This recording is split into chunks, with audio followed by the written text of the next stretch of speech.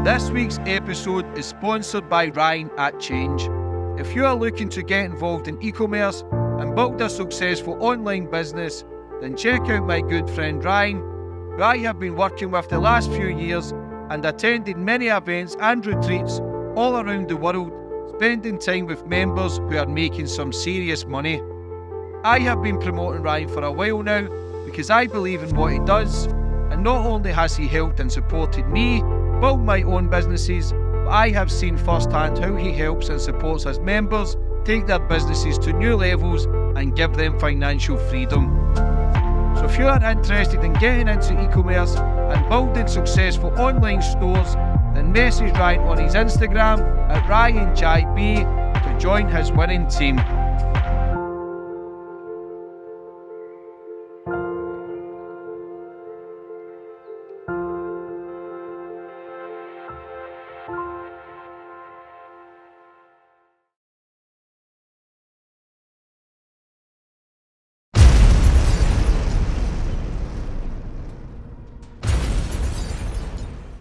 You can now follow me on all my social media platforms to find out who my latest guest will be. And don't forget to click the subscribe button and the notifications bell so you're notified for when my next podcast goes live.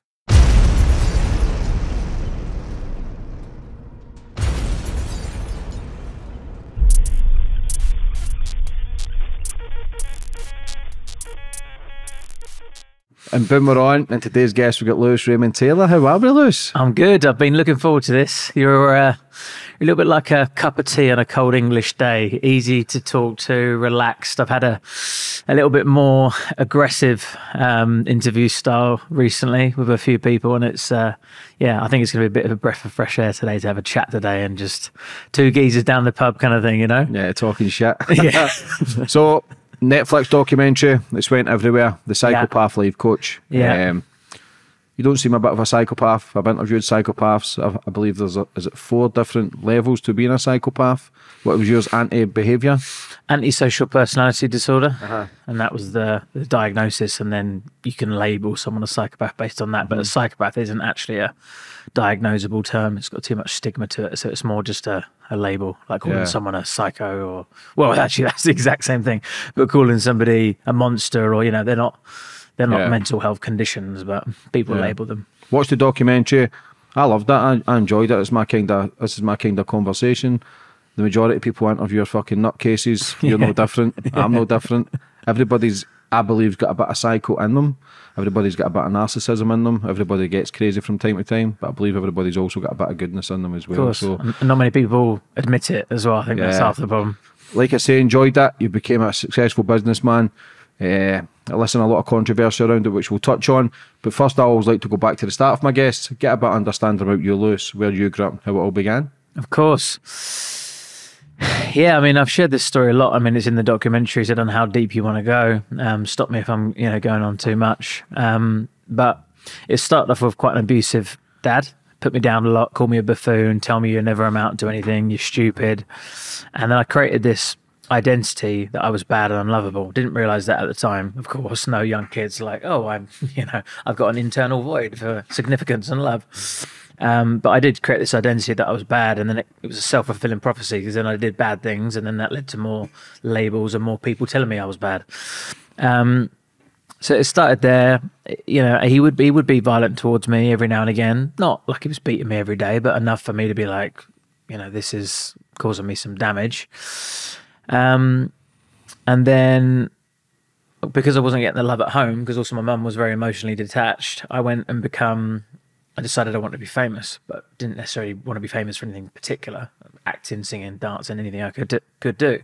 And my mum and dad would provide for me like that. We were um, brought up in a council estate um, just outside uh, Watford in uh, Hertfordshire. But it wasn't, we weren't particularly poor. My mum and dad both worked. And they provided for me these acting, these singing, these dancing, you know, they, they did look after me in that respect, just more of that emotional nurturing that wasn't there. And I did this acting, singing, and dancing. It kind of gave me something. I enjoyed it. It was giving me that significance that I was looking for. And then, come 11 years old, sexually abused. So that completely derailed that. And that was when I was going into secondary school. So I was like, mm, it's another thing that's not working. Put that to bed. Had to create a new identity. Again, it's not something you're cognitively aware of when you're 11 years old. Like, oh, it's time to start a new identity and fill this internal void, you know. But um, that's what I did. You know, in hindsight, I can I can look back at it and understand a little bit about my journey and how it unfolded that way. And then I just turned into a little shit, really. You know, typical. I say typical, but for me it was typical. But light and fires, criminal damage, shoplifting. Had an ASBO at 14. I was expelled from school at 15. Um, and yeah, things just got progressively worse from there, really. How were you at school? How was I? before the abuse? Obviously, you were getting the beatings from your dad. I was always is- naughty. Like even like when I was in nursery, there was a take come to see your child at nursery day, and apparently all the kids were sitting on the carpet, and there was me in a Superman costume banging a drum. You know, I've just always been a bit disruptive. Well, a bit. I've always been very disruptive.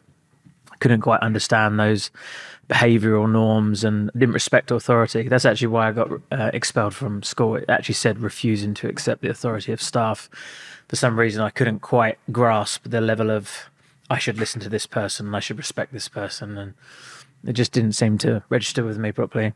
But the abuse from the father, who should be loving, caring, nurturing, that's where you're going because you weren't conditioned with those labels. You weren't born with those labels. It's the same as every bad man interview, every gangster, every shooter, every drug lord, every bank robber.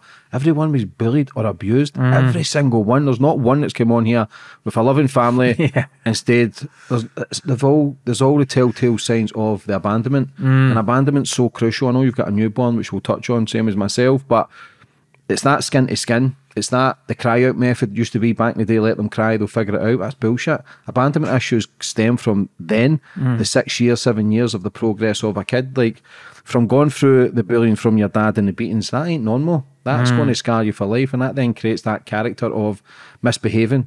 In my own opinion, I'm not a therapist, but I understand people well now because I interview so many fucking people. But it's the scars it leaves on the soul of not feeling good enough, not feeling important, not feeling loved. Is it me? It's the problem. It was your dad. It was a fucking problem. He was a psychopath. You know, you're a father now, so you, you would know now not how could anybody hurt something so innocent and so mm, It's pure. true. Yeah. It's in, it's disgusting, and but that was the way back then mm. because of our own heads were fried back then. There was fights and domestic violence and everybody kicking fuck out each other, babies getting battered, kids getting mm. battered because they didn't know how. There was no self control then. Yeah. it was. I don't know if it's as bad now, but I, I know back in the day it was it was fucking ruthless. Yeah, well, I know that he had a bad relationship with. I mean, he never really spoke about his family or anything really, but I know every now and again he would slip and he would tell me a bit of information. I know that his mum died at 16. I know he said he hated his dad. And I know that he cut off from all of his family. So he was, all I knew was my mum's side of my family and my dad. Mm-hmm. So there's some trauma there that he's never shared. So I can understand that there's some sort of generational trauma that's sort of getting relayed down. It's our responsibility now, I guess, to draw a line in the sand and kind of make sure that doesn't continue, you know? hurt people, hurt people. Yeah, hundred percent. How bad were the beatings? I'd say they weren't that bad. You know, I don't know if I was conditioned to think they're normal, but you know, it's not like he came in every day with an iron and smashed my head in or anything, or a belt. You know, normally it would be the verbal stuff, you know, but that hurt the most. To be honest, the one word that sticks out is the buffoon. I didn't even know what it meant at the time. I actually thought it was a baboon, so I thought this whole like my whole life he was calling me like a, a stupid monkey. You know, when actually a buffoon is like I don't know a jester, and you know I don't know, I don't still don't know now. But the way he used to say it is like you are a buffoon. I just felt it. Yeah, that was the worst out of everything. Um, but yeah, he'd sit on top of me and hit me. But I always used to remember he used to just try and stop himself. You know, he'd be like hitting me, but pulling his arm back. You know, he didn't want to hit me, but he just couldn't help it because he's an angry man. Very angry. Like his veins would burst out of his head. He would just look like a an exploding robot. I'm writing a book at the moment and I wrote in there, you know, he would remind me of an exploding robot. Like he would just, sh- he'd have a short fuse and it'd just go he's scary, you know. And he looked like a big man back then. You know, I'm technically probably taller than him now, but six foot two, tall, big fat, you know, probably 18 stone man. Looking up at that, it was, uh, yeah, it was scary at the time. But the beatings weren't bad. I, didn't walk away with any like significant bruises or broken bones or anything like that. But it was enough to cause me effect because the way I saw it was, because I remember I was getting older and I thought I can, I can probably, I've got a chance here. I could probably do some damage but I can't. Like I feel frozen, and I don't want to hit you because you're my dad and I love you. So why would I want to hit you? And then that made me think, well, if if if if you're hitting me, then that must mean you can't love me. You know, and it's just this reinforcement of being this bad, unlovable kid that I've been told by everybody my whole life, and it just kept on, yeah, reinforcing that further and further throughout my journey. What was the one thing you craved from your dad? Just love, really, when it all boils down to it. Do you know Um, what love was? I don't think so. No, it's not like I said I want my dad to love me, but I was, I had, I call it like an internal void. There was something missing that I was looking for because I wasn't getting it from mum or dad. Mum showed it to me. Um, she would provide for me, but she wasn't from like an emotionally, I love you, let me give you a cuddle kind of background. My, my granddad was in the military and all that sort of thing. So that that just era wasn't as lovey dovey as it is now. So I didn't get it from mum, didn't get it from dad, so I just wasn't getting it. So I just didn't have any love in terms of feeling it. And there is an argument that maybe they were showing it to me or giving it to me, but maybe I didn't, I wasn't able to receive it due to this personality disorder. There's also always this um, conversation around um, nature or nurture. You know, was I born like this, or was this a product of my environment, or is this a combination of the two? But there is a possibility that they could have been loving me, but I just didn't know how to feel it. So as, as far as I'm concerned, there's something not in there that I need, and then I'm on this quest to find it, and that's where the you know the criminality came in because it kind of filled it to a certain extent. The abuse at 11 years old, I know it's a difficult one to talk Yeah. about, but it's important as well because it helps other people who's maybe Yeah. men, we bottle it up the most. One in four people, one in four kids on this planet are sexually abused. One in four. Wow. And the majority of them don't speak about it. Yeah, and especially men. Yeah, and men are men. are the ones who struggle the most. I had a man on yesterday, Crazy Steve, um, nutcase, in and out of prison, abused, bossed at 11 years old, always embarrassed and shamed because he says, I'm not gay and this and that. But he was just battling with that internal voice in his head Mm. and he's, he's just released a book speaking about it. That strength. That then takes away the pain and gives you your energy back and gives you your some sort of inner strength where they don't have that control over you. When did it start? It was only a one-off thing. I say only. I think I sort of devalue my story quite a lot because I've shared it quite a lot, and it's normal for me. It's my internal map. You know, it's what I've lived through, so it doesn't seem as significant to me anymore. But I started doing. Um, I can't remember if I ever mentioned a minute ago, but because I wasn't getting this love at, oh, I did because I wasn't getting this love at home. I had this internal void, and I thought, ah, you know, maybe if I'm famous, I'll better get it. So I started doing this acting, singing, and dancing. Um, didn't particularly like any one of them. I, I enjoyed it, but it wasn't like I want to be an actor, I want to be a singer, I want to be a dancer. It was just I want to be famous from the age of uh, 10, probably started at seven actually. And for three or four years, I used to do these acting, singing, dancing things. I was in plays. I did everything, even as uh, I even did ballet and tap dance at one point. You saw in the documentary, right? This is kind of because I've always had this extreme behavior. If I'm going to do something, I'm going to do it like in an extreme way. So I'm not just going to dance. I'll be a ballet, be a ballerina. And um, I went to this stage school, and it was an older guy invited me back to his house. I knew there was an age gap, but I just thought he was an older lad. On, on reflection, you can look back and think, oh, how big was that age gap? You know, and I still don't know, and I still don't know what his intentions were. Uh, whether or not it was a one-off, whether or not he did it deliberately, whether or not he was just a gay lad. But to cut long story short, I went round his house, stayed around his house that night, was on a bunk bed. It was at his mum's house. How old was he? It's hard to say, but I would say um, probably I was 11, he was probably 18. I probably thought it was less though. I think I think I thought he was maybe 15. He was like the cool older kid that was smoking weed, and I was like, oh yeah, cool. Um, anyway, who knows how old he was? You really can't tell, can you? Really, especially at that age. You know, the perception of ages is difficult to to tell. But um, I was I don't know how this happened, but we was watching TV, and I'd sort of dangled. I was on the top bed, and I sort of dangled my arm over the, the bunk bed, and then he grabbed my hand. And I was just like, "What the fuck is he doing?" But you're frozen. You can't pull your hand away. So I just left it there, and then I'm like, you know, minutes are passing. I'm like, I'm still holding this geezer's hand. Um, and just escalated to the point where then the next thing you know, he's creeping up the top bunk, and I'm like, oh fuck. And then I remember when my dad used to hit me, I used to freeze. You know, you've heard of it, fight, flight, or freeze, right?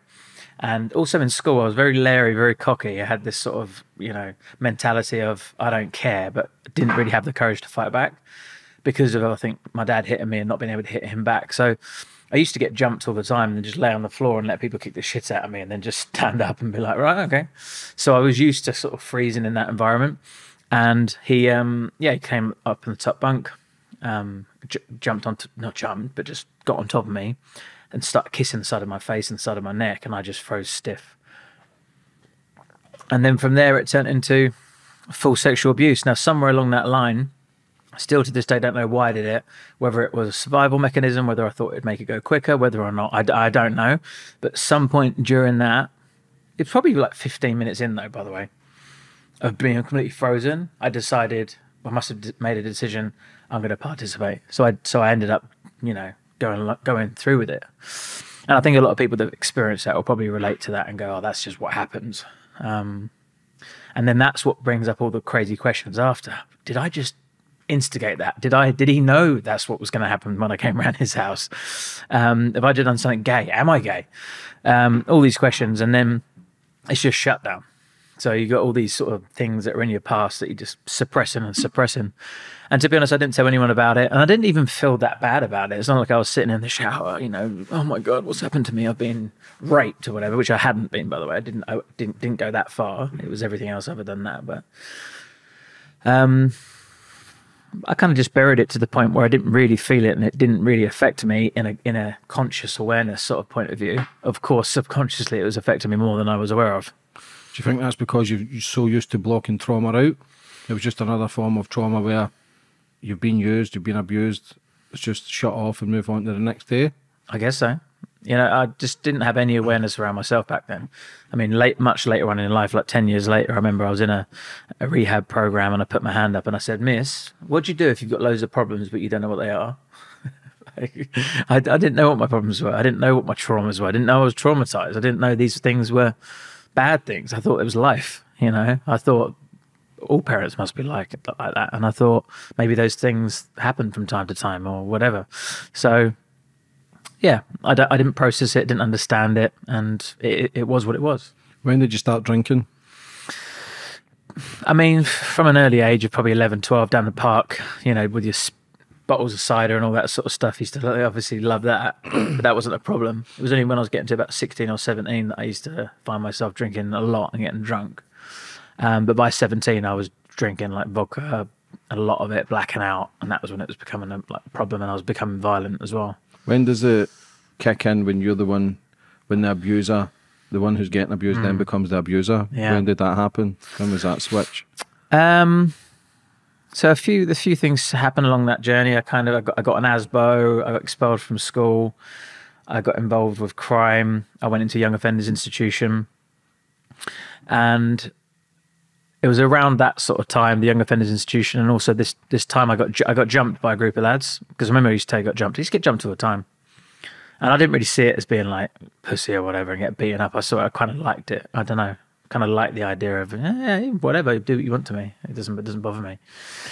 Um, don't need to even fight back, but um, there was this one guy that jumped me, and then I found I saw him in a in a nightclub, and I went up to him, and I didn't even mean to punch him, but my arm just came up and just hit him in the face, just randomly, It's just involuntary.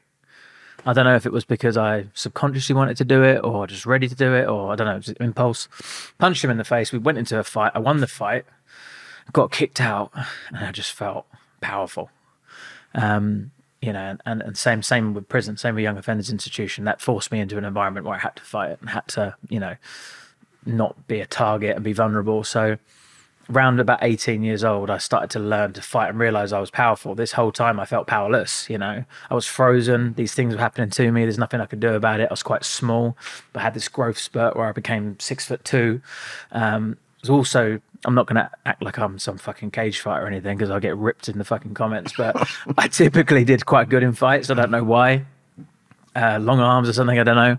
But I'd win, I'd win some fights against some big guys, and it just filled me up. I felt great, um, and I also liked the reputation that came with that. I liked people saying, "Did you hear what Lewis did last night?" Or "Lewis did that," or "Lewis did that," and that kind of gave me some form of significance, some form of love in a way. It obviously wasn't love, but it was the closest thing that I could experience to it. And it's not like I was going, if I punched a skeezer, I'm going to feel loved. But it was like, oh, I feel better. And we all do things that make us feel better. That's why we reach for, you know, external substances or whatever it might be. Anything that makes us feel better, we want to do more of. And especially if you've got an addictive personality, or you are an addict, you know, depending on how you look at it, you'll you'll abuse anything that makes you feel better. So for me, I, I believe I've become addicted to fighting. Like it was something that I craved, I looked for. Um, it it's not like I was going out looking for people to attack. Well, actually, in a, in a sense, I guess I did, but I was doing it in sort of nightclubs and things like that. It's not like I was going through the street looking for an old lady or something like that. But I'd get, I'd be in the nightclub and I'd be the typical fucking idiot that's had too much to drink and that's just, you know, you, you don't, you don't want to connect eyes because you know that it's going to kick off straight away. Um, and I and I enjoyed it. That's the truth at the time because it just made me feel a little bit more complete. Did you feel as if you were getting some sort of power back with being bullied and abused your whole life? Yeah, yeah, I did. When did you end up in the YOs? What age? 18 and 19. What was that for? stole a van. Um, I did well. I, I found a car key on the floor, pressed the button, and it beep. beep. so I put it in my pocket, and then got drunk, and then remembered I had it, and then went down and got the car, and then didn't even know how to drive, but ended up managing to sort of figure it out. Got caught by the police, had some weed on me, and then went to young offenders for three months. How was that? Um, it was interesting because it was uh, Woodhill, and it was a double A cat. I went to two A, and it was it was full of you know people that had done serious crimes. You know? Yeah, why are you in double A cat with the murderers and Yeah, yeah. It's because it was the closest one to where I lived at the time, and it was like they they put you there and then they re re categorize you or whatever. But they put me there for the first month or whatever. And um, mate, there was there was people that were in there for uh, yeah. There was this one guy that was the top of the wing that I thought that I was getting on with. Actually, played pool with him, had showers with him. Um, he was 18 years old from Wales, supposed to be in there for killing a couple of geezers, and that was a good thing at the time, you know. And um, oh, you legend, you know.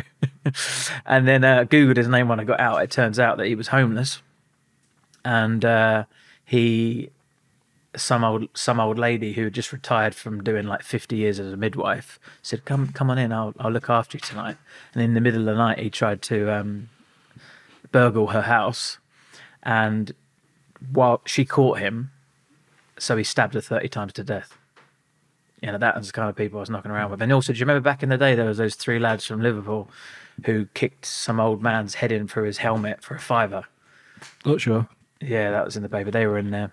Hor- some horrible people in there, and um, but it fucked me up a little bit because not a little bit. It did fuck me up because I was so vulnerable in my mind that I was so susceptible to picking up other people's beliefs and behaviors, and I'd, I'd already sort of started this quest for significance and power that I thought that I was getting from these like street fights. And then when I'm going into jail, I'm now bot- bottom of the pecking order, and people saying, "What you in for?" And I'm like, "I'm ste- stealing a van," and they're like, "Oh, I'm in it for murder," and I'm like, oh, "I want to be in it for murder." it's fucking mental, but that's kind. I, I don't think I said I wanted to be in there for murder, but I definitely thought I want something a little bit more significant, so I can come in here and you know be a bit more proud of my charges. It's fucking aw- awful when you think about it. And uh, when I came out of prison, that was that was in the back of my mind, but also I'd been given the worst punishment society had to offer, and I didn't mind it. You know, the people th- people with personality disorders, whether they have one or not, they they don't really respond to punishment well for some reason. That's why eighty percent of the prison population have personality disorders, um, because for whatever reason, yeah, they don't learn from their mistakes. And eighty percent of the prison population come from a broken home. Yeah, yeah, and that probably creates a personality disorder. yeah, that's it. Does the kids aren't born with these sort of th- th- these labels?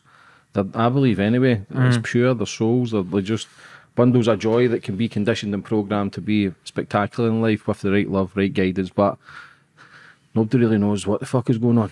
especially back then. I mean, it's only now that we're sort of opening our minds up to personal development and the ways that we can learn about ourselves Yeah. and our emotions. But you know, when, when even I was growing up, and I'm not particularly, you know, I'm still young, you know, just wasn't in the curriculum, wasn't it? It still isn't now. So, mm-hmm. I mean, that's a whole conversation I'd like to talk about at some point. But I think this, the schooling system is absolutely broken.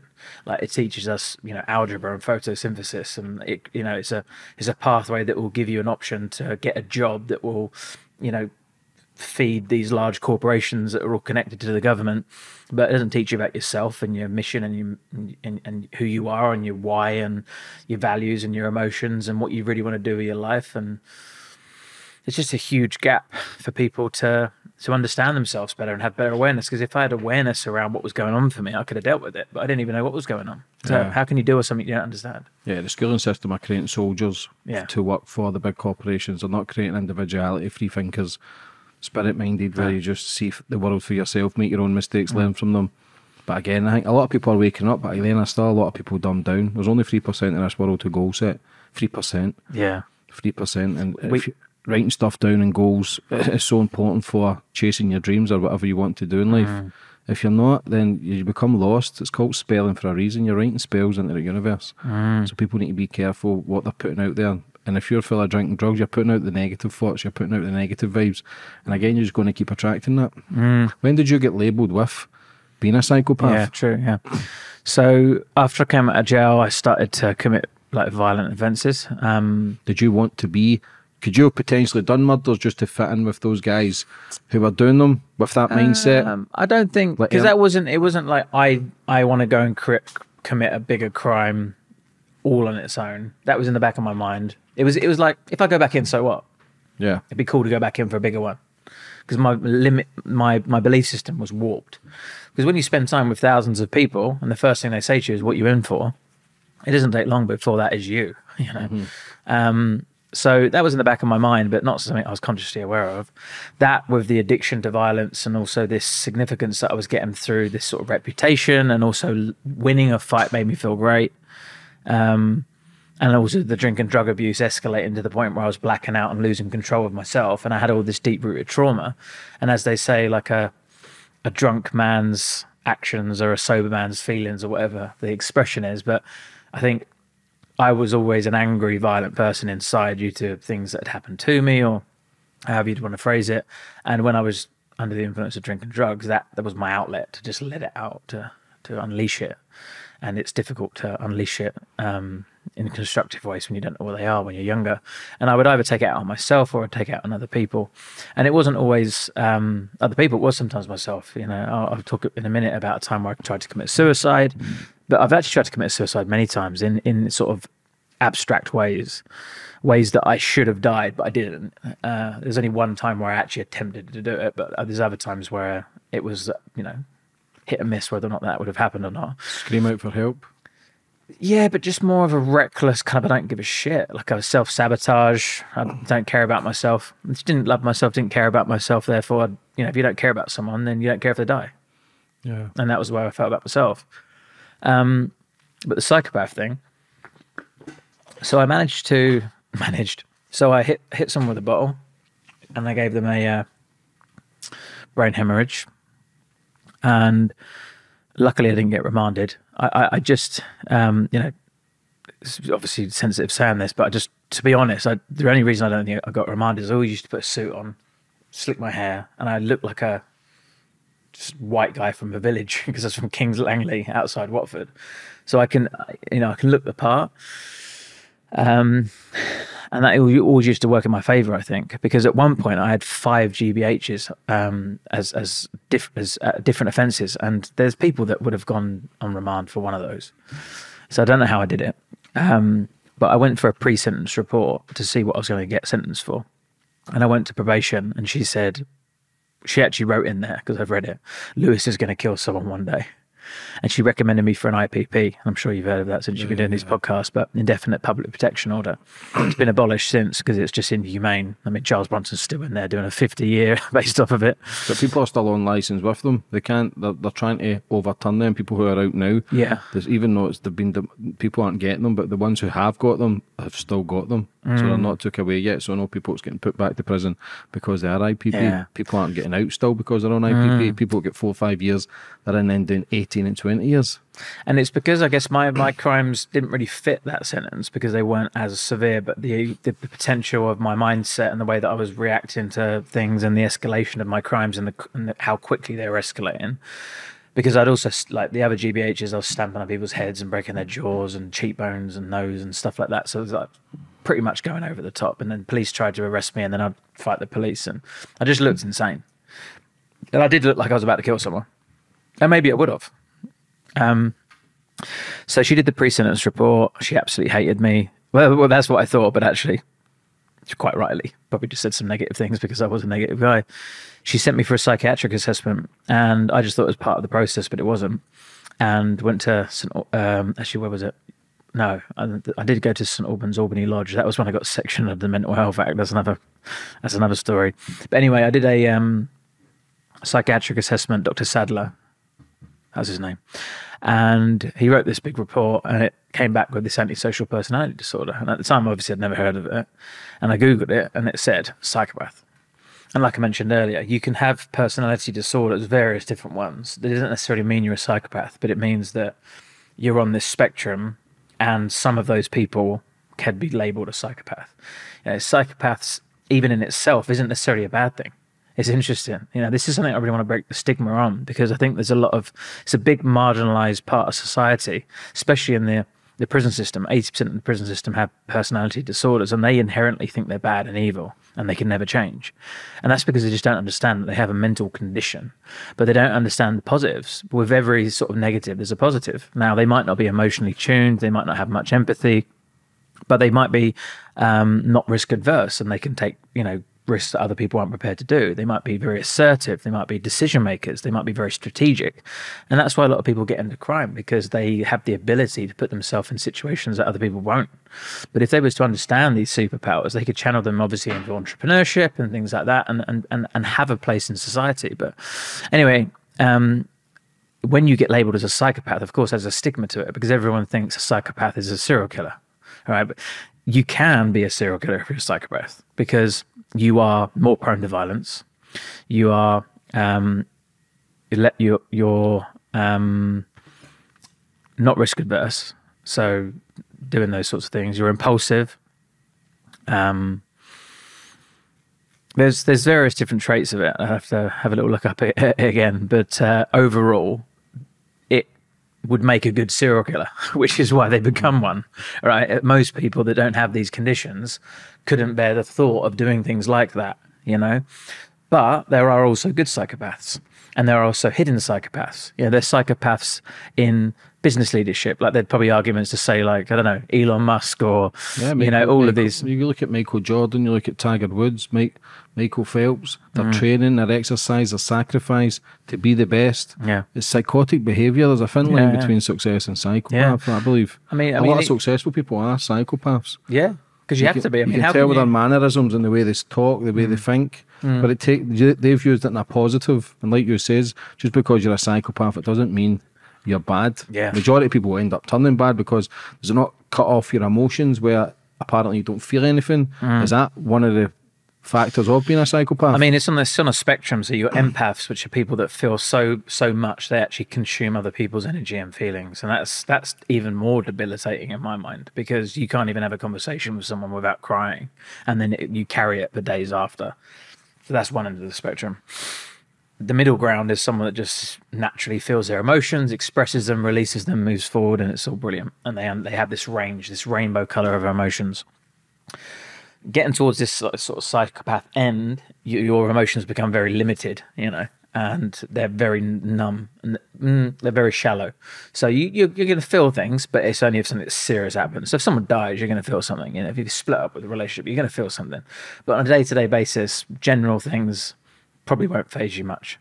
Like, for example, whether this is a product of the psychopathy or whether it's a product of my environment, someone can tell me a story. It could be as deep and as dark as you could possibly imagine, and just won't really register with me. I mean, it doesn't really affect me. It's not like I don't have empathy for them on a, on a logical level. Like I can sit there and understand and want to help them and understand they're going through a tough time, but it's a, it's more cognitive. I don't have this pain inside me or this heaviness, this this feeling of dread and you know empathy uh, you know from a from a felt sense point of view.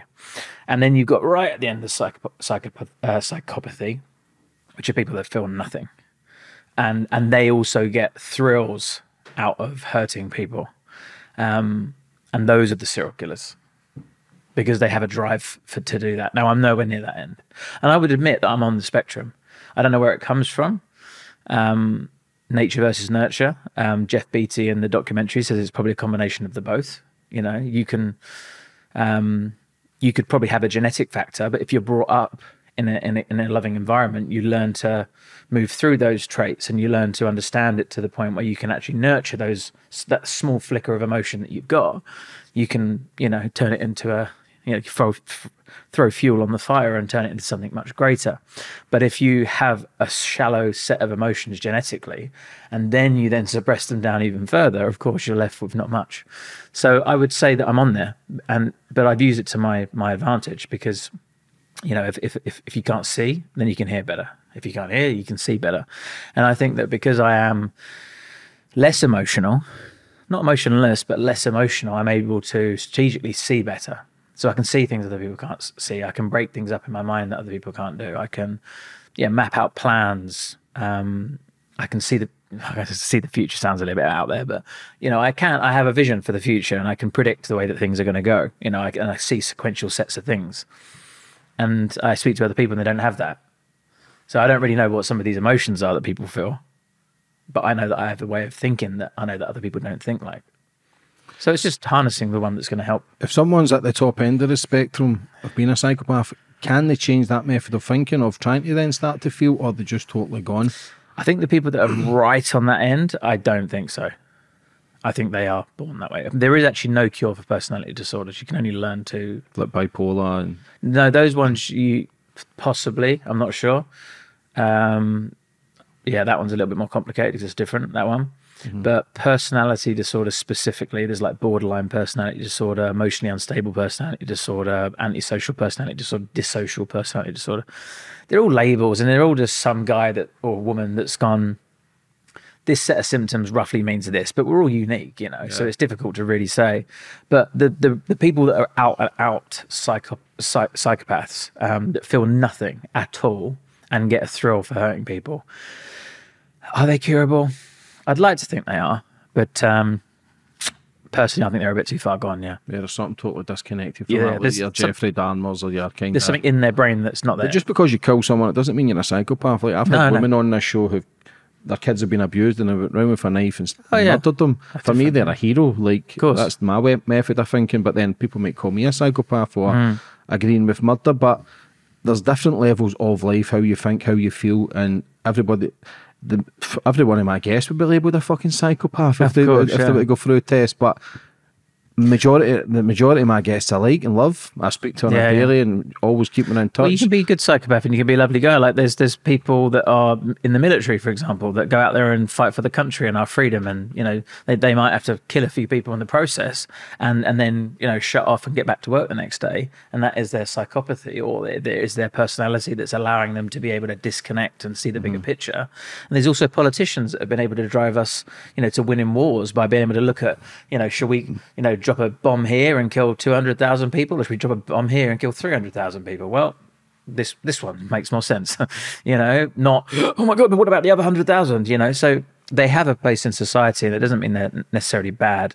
And yeah, also people do things not because they have no emotions, um, but because of circumstances. So, like you said, I mean, if someone's hurt your child, uh, you're not doing it because you know that you can get away with it without feeling any guilt or remorse or shame. You're doing it because you want to do it, and you need you feel like you need to do it to protect somebody. And it, and they probably have a lot of trauma and guilt and things they have to work through um, to be able to process what they've done. Whereas a psychopath, for example, could probably do that and not care that's the difference. They could go and kill somebody because it's the right thing to do and be a good psychopath, but then actually not care about it after. What were you doing for money back then? Selling drugs. Were you a drug dealer? Yeah. What, just bits of gear, weed? Um, mephedrone actually, meow meow meow. I don't know if you remember that. Yeah, the plant fertilizer. Yeah, yeah. It smells like piss. Oh yeah, good shit. Speed. What was, what was that? Speed. Meow meow. No, it was it was a plant fertilizer. So it was illegal high at first. Yeah, uh-huh. I, I, know someone that used to get it shipped. Yeah, I on a black shipped. market in like fucking fish tanks. I, I, used to get it from Scotland actually. Yeah. I think he had a bit of a market. I might know the guy then. yeah, and I thought, what?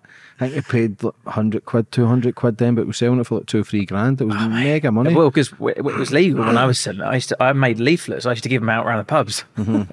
and then it went legal and everyone shit himself. But you know, someone like myself whether it's the condition or whether it's just me. MCAT, wasn't it? MCAT, yeah. Yeah, meow, meow. Yeah, yeah, yeah. It was yeah. like little white. Yeah. It was like shards of glass. Shards of glass. It fucking hurt your nose, but it, it, was it was stronger than Coke. It was cheaper than Coke, and you didn't have really a come down for two or three days. So like with Coke, when the birds come out, you're like, oh my god, my life's shit. But with that, you're like, hey, shops are open. Let's go and get another bottle of vodka. Mm-hmm. So it was just a, a next level drug. But um, Yeah, and then I moved into selling coke after that as well, and I had a line, and then I had a few people working for me. I was no big time gangster. I don't want people to think I was, but on a small scale, you know, I had people working for me. I sold drugs. I, you know, I was violent. You know, I was in that scene. Um, but there were, way, you know, a billion and one people above me in the pecking order. Were you telling people you were a psychopath? No, I didn't even. Do you know what? When I got that diagnosis, I just brushed it off because I thought, oh, look, Mr. Goody Two Shoes thinks that I've had a couple of fights because I've been out on the piss and he thinks I'm a psycho. So I didn't think anything of it. It was only later on in life where actually I turned my life around. The symptomatic behavior was no longer there, but yet some of the traits that were in this diagnosis was still apparent. So I thought, hmm, actually, it's interesting because I do feel different and I do feel these things. And, and I started to notice a difference between me and most people that was something that was obvious. It's, I just I just didn't quite get a lot of other people. I was confused at how they reacted to things, and that got me thinking that I am different. You know, and I know, I know that a lot of people feel like they are different, um, but specifically in certain aspects, especially emotions, I just kind of got a lot very confused, and then that made me look back at the diagnosis and go, actually, it make I, I tick every fucking box on there. When did you go to rehab? So I was at a mental institute. What was it, what was it you done? So, was so it both? I was 18. I got pissed up on Jack Daniels. Um, this is when I was starting to get a bit aggressive but not violent.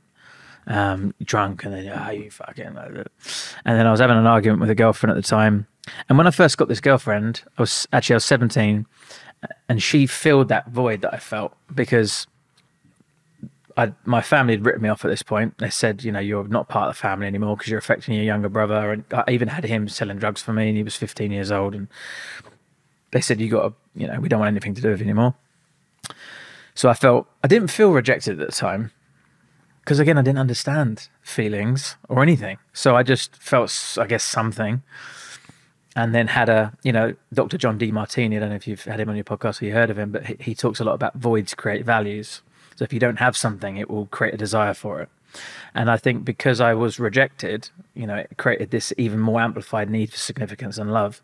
And because I wanted significance and love, it would also make me feel rejected and, you know, all sorts of other things. But anyway, I got this girlfriend, and not only did she show me love, but she invited me around to her family's house. We would sit in front of the TV, we'd have dinners. And I was like, oh my God, this is what a family's like. Um, and I was with her for about a year and I felt obsessively head over heels in love with her. Like it was a bit a bit over the top thinking back in it now. I wouldn't leave her alone. She probably got sick of me by the end. Um, and we got drunk. Well, no, I got drunk. Mm-hmm. And then one night uh, we're having an argument, and she said, "Well, you know what? I cheated on you." And I've had a lot of traumas in my life, and I, I can list off a few more after this. But that one was, I would say, probably the, the strongest trauma I've ever had. Which is weird, isn't it? Because is the one that probably most people can relate to and and and seemingly the, the least significant like everyone oh young heartbreak whatever everyone goes through that. But fuck me does that hurt? You know especially when you know when it's tied to all these other things because when she said that it hit me hard. I felt loss. That's what i felt loss overall because i knew she was gone. You know the moment she says that it's like you can't work anymore. So i felt loss. I felt the rejection not from just her but also kind of triggered the loss, the rejection that my mum and dad and you know family had, had, had put me you know through. Felt at the same time, kind of thing. Like it was reinforcing these things that I'd cho- chosen not to bring my attention to, but it was so overwhelming that I had to see it. And um, I just felt like I'd lost everything, and it confirmed you are this bad, unlovable kid. You know, because I had prison, probation, school, because I was expelled from school. Uh, psychiatrists, mum and dad, everyone said I'm bad, so I'm bad. So I went blacked out, went fucking berserk, started smashing her kitchen up around her mum's house, pulled out a drawer, drawer hit the flo- floor, and a six inch kitchen knife just fell down uh, out of the drawer. And I didn't even think of it. Again, it was another one of those impulses, like with the guy that I punched. And um, I just went like, didn't even think about it. It was in 0.5 seconds, and like just about better, better to see the scars there yeah. and, and there. And I slit my throat, and it started spurting my blood. And then I went downstairs and was like, "What have you done, Lewis?" And I like passed out. Ambulance come. I started fighting the paramedics, and then they eventually um, arrested me, stitched me up at the hospital. And I was going, "Leave me, I want to die," because I was just did want to die. Leave me, I want to die. Don't touch me. Fuck off. They did stitch me up. Then I ran back up to her house. It was all crazy scenario, and I got a section of the Mental Health Act. They put me in St Albans Albany Lodge. That was what I was thinking about earlier, and um, put me in a padded room. Blood everywhere. You can just imagine, like literally, you can imagine just looking through the I'm window. laughing, mate, because it's uh, it's fucking mad as well, in it. But this is this is what love does. Love, Yeah, yeah. love is painful. Oh, Love is not what's going to find and feed your missing pieces or your, whatever is missing in your life. It's a everybody wants to feel love. Yeah. it's the most purest form of anything on this planet is love, and if you've got love, you're winning. And it's uh, but love is painful because it's not a twenty four seven thing. Same as happiness or positivity. It's not twenty four seven. It's something you need to work at. Mm. And being that kid who's abused and lost and never felt love and having that companion and somebody who cares for you or sh- it may, might be fake love, but you don't care. You're willing to just take it because it's such a good feeling. It makes you feel warm. Yeah, yeah. Makes you feel precious. You would fucking kill for the bitch. Yeah. That's the way it is. You would die for them. You basically try to kill yourself for them. kill myself for men are. I believe men are the most vulnerable when it comes to relationships. We don't talk about it, and it hits us the most. That's when you see relationship breakup. You see the men partying away to Ocean Beach, full of Yeah. drinking drugs For the first two weeks, anyway. And she thinks, oh, he doesn't care about me.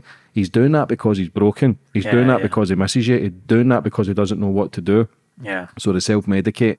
Women kind of just go and have their discussions and they heal quicker. Men don't. There's relationships you think about in the past, and you go, fucking, I loved her, but yet you destroyed it with your antics or whatever. But relationships are painful, love is painful, brother. Like, So you're then fucking trying to top yourself. You've slit your wrist, your missus is cheating, you're already a nutcase, you've been expelled, abused, fucking battered your whole life. What happens then when you're sitting in the white padded cell? well, it's pretty Was crazy. it was pretty crazy because I was just off my head and I just always used to kick off. Like even in the police cells, I would uh, I would just bang on the door for hours and hours on end. I just wanted to cause trouble. I would sometimes I knew the cameras in there and I would just run run into the wall head first and then pretend to be knocked out with my tongue hanging out my mouth just so they'd come in and then when they come in I'd you know Charles Bronson it up and try and fight. I wouldn't fucking put Vaseline over me or whatever, but I just you just love kicking off. I don't know, just give me something like that. You know, when I was younger, I used to smash bust up windows constantly, just looking to get arrested.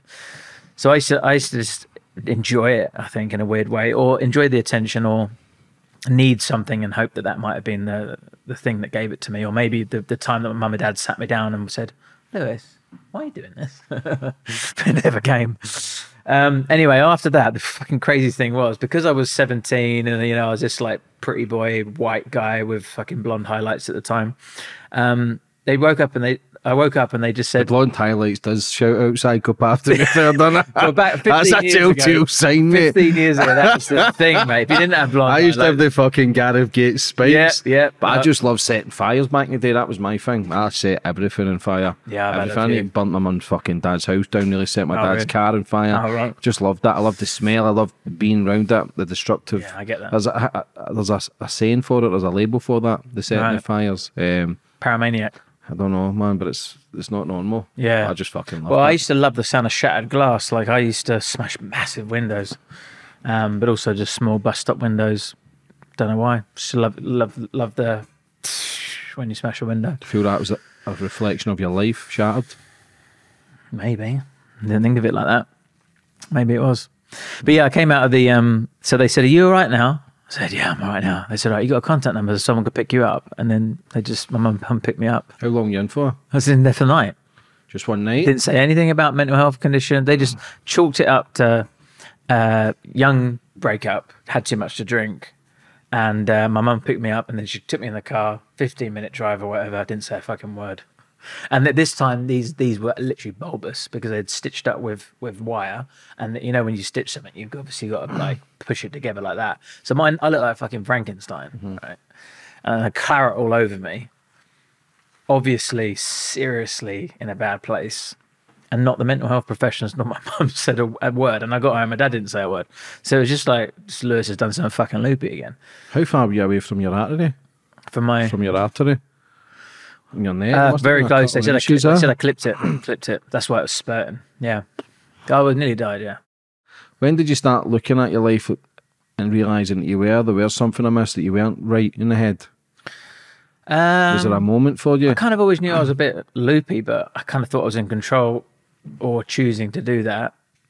Self sabotage, kind of live fast, die young kind of mentality. I always felt different. Um, I had this one voice that told me I was special and there's something you know big for me out there. But then that felt quite overwhelming. And then I also had this voice that told me I was bad and unlovable that obviously came from my dad, but I didn't really understand this. So I had this like conflict in my brain, overwhelming. Um, but uh, there's something about extremes that I've always liked. So the, the idea of normalcy uh, scares me. I, I, I hate that. Like I've been in sweat boxes in, the, in you know, the, pre, the police wagon taking you to jail sitting there handcuffed, going to jail, looking through the window, feeling sorry for people walking to work. like, I'm fucking glad I'm not you like thinking that I'm in a better position. I would rather be in jail than do that. A lot of denial, do you think? It's either I don't know because I still feel a bit like that now. Uh, I've always said that if I got to like 50 and I still didn't make it, I'd just fucking I don't know, just smuggle drugs across the border or something. I don't know. What is making it to you? Because everybody defines success Yeah. and money differently. Still figuring it out, to be honest. Because every time I climb that ladder, I realise that I've propped it up against the wrong wall, or um, or I need another rung on the on the on the ladder. I th- if I get here, I'll be happy. If I It's, get not, it's here, I'll never ending. Oh, it doesn't. the money's never No, ending. no. The fame and it doesn't bring the happiness either. That's bullshit, man. It's fake. It's like Yeah. trying to enjoy the journey, which is difficult, especially when you try to be successful, because it's always leveling up, raising Yeah. the bar, more pressure, more sacrifice. and Just try to stay sane in an insane world. Yeah, this yeah. is a mental institute. The whole earth is a mental institute. The killings, the bombings, the drink, the drugs, the violence. It's not normal. No. It's not normal. Some people think this is hell, and they've got a fucking right Yeah, reason yeah. to believe it. But there is a lot of pure stuff on this planet. Newborn babies, the love, the joy, the, where they can go in life, and the s- the nature. There's a lot of beautiful stuff on this planet we don't touch on enough. But Mm. That is what it is, man. If people can find their passion and find their true purpose, purpose, they can do anything in their life. And there's people le- with less than me and you who are happier. Oh, 100%. so you think, oh, man, you kind of get envious of them. When you've got nothing, you're envious of the people with something. Then you start making something. You're envious of not having anything because you've not really. You're quite content. Not not having to chase anything, and people Mm. working nine to fives, I used to think fucking mugs. But Yeah. now that you're become self-employed and working for yourself, you think, work more hours. Yeah, yeah, yeah. Dana White says that you're working Christmas Day, New Year's Eve, New Year's Day. Close uh, your laptop yeah, at five and then that's it. And fuck off, man. They've got the right idea. It's some psychotic bastards who are fucked up in the Well, it's only recently that I, me and my business partner, we've been like grinding on the business 14 hours a day, seven days a week, you know, just doing what we need to do. And um, we came up with this revolutionary idea, and it was like, why don't we work Monday to Friday, take Saturday and Sunday off to refresh, and then come back on Monday? And we was like, that's a fucking great idea. And then we're like, oh, hang on a minute, that's what everyone does. that's just a normal nine to five.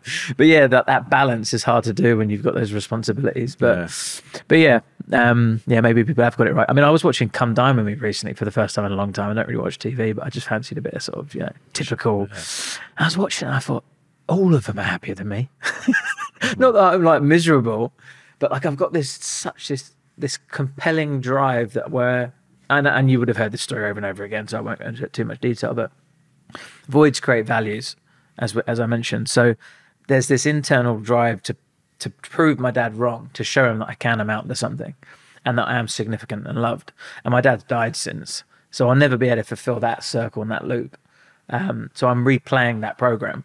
And although I'm cognitively aware of it, it doesn't stop it from replaying. And I'm working on it, and I'm breaking it down, and I'm bringing more awareness to it. And I'm, you know, each each day, each month, each year, I'm you know becoming better and becoming more aware of things that do make me happy, and you know, moving away from the things that are just superficial. Um, but I can't even remember what the point was now. Um, overall, yeah, I, I, I have got a lot of uh, space for happiness, and I don't know if that comes from the personality disorder as well, because emotions, you know, happiness, joy, happiness, fulfillment, there they are shallow for me. Some days I, I do feel quite flat.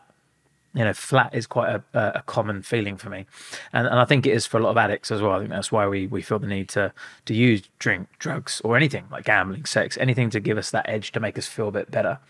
You know, trying to use an external problem to fix a, an internal solution. You know, I know you've got a lot of experience with that yourself. Um, but I do feel flat sometimes. Um, and I don't know whether that's just part of my genetic makeup. I don't know if that's something uh, that w- will change through time. Um, but I think a lot of people can relate to that as well. Yeah. Did you ever have that conversation with your dad? No, no. So, so he when when I was twenty one, um, he got pancreatic cancer from the drinking. He was alco- he was an alcoholic. He would drink like a bottle of vodka and like bottle of wine and two beers every single night, every night for as long as I knew him. Um, and uh, yeah, one day I walked in and found him. Well, we he he was sick loads of blood, and then we um, went to the hospital to visit him, and they said, "Oh yeah, he's on this room over there." I was going to go visit him. Walked into the room, a nurse forgot to tell me he died, so I just walked in and just see him dead. He literally yellow mouth open. It's like what the fuck. Yeah, and he died, and he and he withered away into this frail, tiny old man. He must have aged about forty years in six months. Like he went from like dark hair, tall, fat, to literally arms like that, complete white hair, 80, 90 year old looking man when he was 53 um, in six months. It was crazy. Um, but yeah, he died. So we never had a chance to have that conversation. But interestingly, um, I've done I've done some conscious connected breath work. I don't know if you've heard of, of that. Yeah, breathing It's a specific breath work. It's not like Wim Hof, but it's where you have this circular rhythm of breath work. And they say that um, It releases trauma. it can release trauma as well. Yeah. Um, but done you can that. also, yeah. I done that for a few weeks. Sorry to interrupt, but but I was getting angry. Me and my friend Jed Neil, Glasgow, mad bastard back in the day, changed his life, and we were doing a lot of the breath work. Mm-hmm. but we were getting fucking angry after it. We're going in the, the cars, and Yeah. I'm quite content now, and I don't. I'm not an angry. But maybe that. Needed to come it. out. But we stopped. I had to stop because I'd felt it was like a, something coming to a head, but I felt as if it was bottled up. He carried on with it and he feels good for it now. But I, I was getting more angrier some occasions after doing it. Mm. But it was like a release. It's obviously a blockage, but the, the breath techniques and breathing exercises are unbelievable. That's like a rhythm in it. It's like where you're breathing. Well, there's a few things to it. They say that emotion is stored in the body. So you, we usually have this emotional loop where something happens, you feel the emotion, you understand it, express it fully by crying, by venting, by shouting, whatever it might be, and then you then process it and then you let it go and then that's it. It's complete. That that emotional loop's complete. But if you don't, like we like men do and society tells us to be strong and you know whatever, you know you experience an emotion, you don't you don't uh, release it or express it in any way, and then it stores itself in the body energetically. It's a little bit woo woo on the, uh, the spectrum, but um, there is some truth to it because I've experienced it. Um, but there's also conscious connected breathing where it just you access a, uh, an altered state. So just like if you hyperventilate or whatever, you're going to get a bit dizzy or whatever, or you do like a fucking nos balloon or whatever. Um, when you breathe so deeply in this conscious connected way, where your inhale meets your exhale, you start to create this rhythm and uh, sooner or later you just zone out and you drop into some weird fucking space and you know unless you've done it you you, you obviously won't be able i mean you've done it but unless people you know listening have, have experienced it you won't be able to get your head around it but i've because the, the the brain doesn't really know much uh they don't really understand the difference so much between imagination and memory and dreams and memory. You know, these are all just you know creations of our brain, but they're very similar. And in these altered states of consciousness, I've gone in and I've had conversations with my dad, like if, if- although he's dead. Um, I've even had a conversation with him when he was my age. So one of these like times that I was bang, I was like passed out, he completely passed out. You start getting I can't remember what it's called. now, Your Tingles. hands are all Yeah. It's like a spasm. yeah, and you're just all fucking mad. and um, and People would think that's a him in the fucking white cell again, but you do with those sort of breathing techniques, the tingles, the pain, the people screaming, the crying. oh yeah. There's a lot of emotion comes to the surface. So you then seeing your dad, what happened? So I had a, a conversation with my dad when he was my age. So it was me and him, thirty to thirty years old. Just and I just like, wow, he's a nice geezer. And I just sort of came to this realization that he'd just been through trauma, and we had a conversation. And I, I wasn't, you know, I wasn't aware enough to be able to say everything that I wanted to say because obviously I was in this dream state. So it's not like I was like, oh, brilliant, dad, I've got you here. I've got these questions that I wanted you to answer. But it was able, I was able to have a little bit of an experience of having a conversation with my dad, which obviously is something you would never be able to do when someone's died. But I also had this really powerful experience once, which actually showed me the root of all of my trauma. So I was having this conscious connected breath work again, passed out into this state. It takes like 20, 30 minutes to get into this place. And I do it in Bali and I have all, all these other fucking shit going on around me and stuff. I go full in with it. It's not just me going, you know, I've got people massaging my feet and fucking banging drums and shit, getting right in it because I like to be immersive. And um, I saw this little kid and uh, I was like, who's that? And then I got close and I realized it was me. It was a young version of me, about seven years old. And I could tell something was the matter because he was this up, upset little kid. And people watching this are going to think, this guy's fucking off his head. But if you try it, then you'll know it. It's one of those things. And I said, What's the matter? He wouldn't tell me. And I kept on trying to take his face like that to, to look at me, like, Tell me what's the matter. And he would look away, you know, like typical. And I said, What's the matter? And I knew that this kid, me, had the answer to something that I was burying. I said, What's the matter? And then it just zoomed out and it took me into my nan and granddad's um, house on my granddad's retirement birthday, which I would completely forgotten, but it all came back like vividly. And it was a time where my two uncles beat my dad up. And I was there and I was jumping on top of my uncles and I was pulling their hair out and I was going, Get off my dad, get off my dad. And I just, I remember feeling powerless, like I couldn't protect my dad. Um, and I just erupted into this fucking tsunami of emotion from this breathwork session. And then he like put me in the feet fetal position and I kind of just it poured out and I woke up and I was just like, what the fuck's happened? And was just fucking bed was just drenched. And I'd been crying for about 15 minutes. And then I realized that that kind of where, I think that's where everything stemmed from. I felt like I couldn't protect my dad. I felt powerless. And I felt guilty. Um, like it was my fault. I couldn't do anything. And then once you have something like that going on, and then these other things get piled on top, like your dad hitting you after and telling you you're a buffoon after, you don't go, oh, it's because this happened. You just collect all these experiences and you make a view of who you are and how you sit in the world. And for me, I drew the conclusion, obviously, that I was bad, and that was uh, not a good conclusion to draw. Did you forgive your dad? um, yeah, I have. Yeah, because you understand the beatings and the, the, the, abuse and the addiction he had. That's a lost soul as well. Yeah, yeah, he had his issues. yeah, for sure. Um, it's it's more difficult to, to do the forgiving piece when you've never actually had that conversation. Part of me still thinks that if he if he saw me, he he would still have something to say. yeah, like. Oh, look at Lewis, fucking scammer. so, you know, Yeah, put me down again. Because I remember I got a job once, and I was um I got a job as like an IT salesman, little bit telesales ish, but a bit more premium than that. And uh, came home, told him about it, and he's like, "Oh, you're one of those annoying blokes that bring me up at work." He's always got to fucking say something, and your dad. And he would call my brother the intelligent one, and he'd say to me, "Why, why can't you be funny like your brother?" Always had something to say. So part of me thinks he would still do that. I'd love for him not to do that. I'd love for him to be able to say, you know, proud of you and all that sort of thing. But I never get that, so I've got, kind of got to give that myself. Um, but I've definitely forgive him for what he did because I don't think he knew any better as well. I think he had that from his dad as sort of generational trauma. Do you see a lot of yourself in your dad? Unfortunately, yeah. I mean, specifically before. Do you think he's seen a lot of himself in you? Possibly. Never really thought of that, but yeah, maybe. Mm-hmm. Makes sense. I'm, I'm very like him now, even like him now, really. Uh, very different as well at the same time.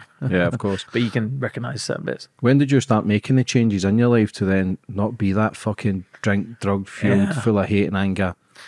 Yeah, so the violence just got worse to the point where I was addicted to fighting, where I would just go in, fight a couple of times a night. Like sometimes I'd go into nightclubs, fight, get my shirt ripped off, go and give a homeless guy a five, I get his t-shirt, put it on, and then go to the back of the queue and get back in, have another fight.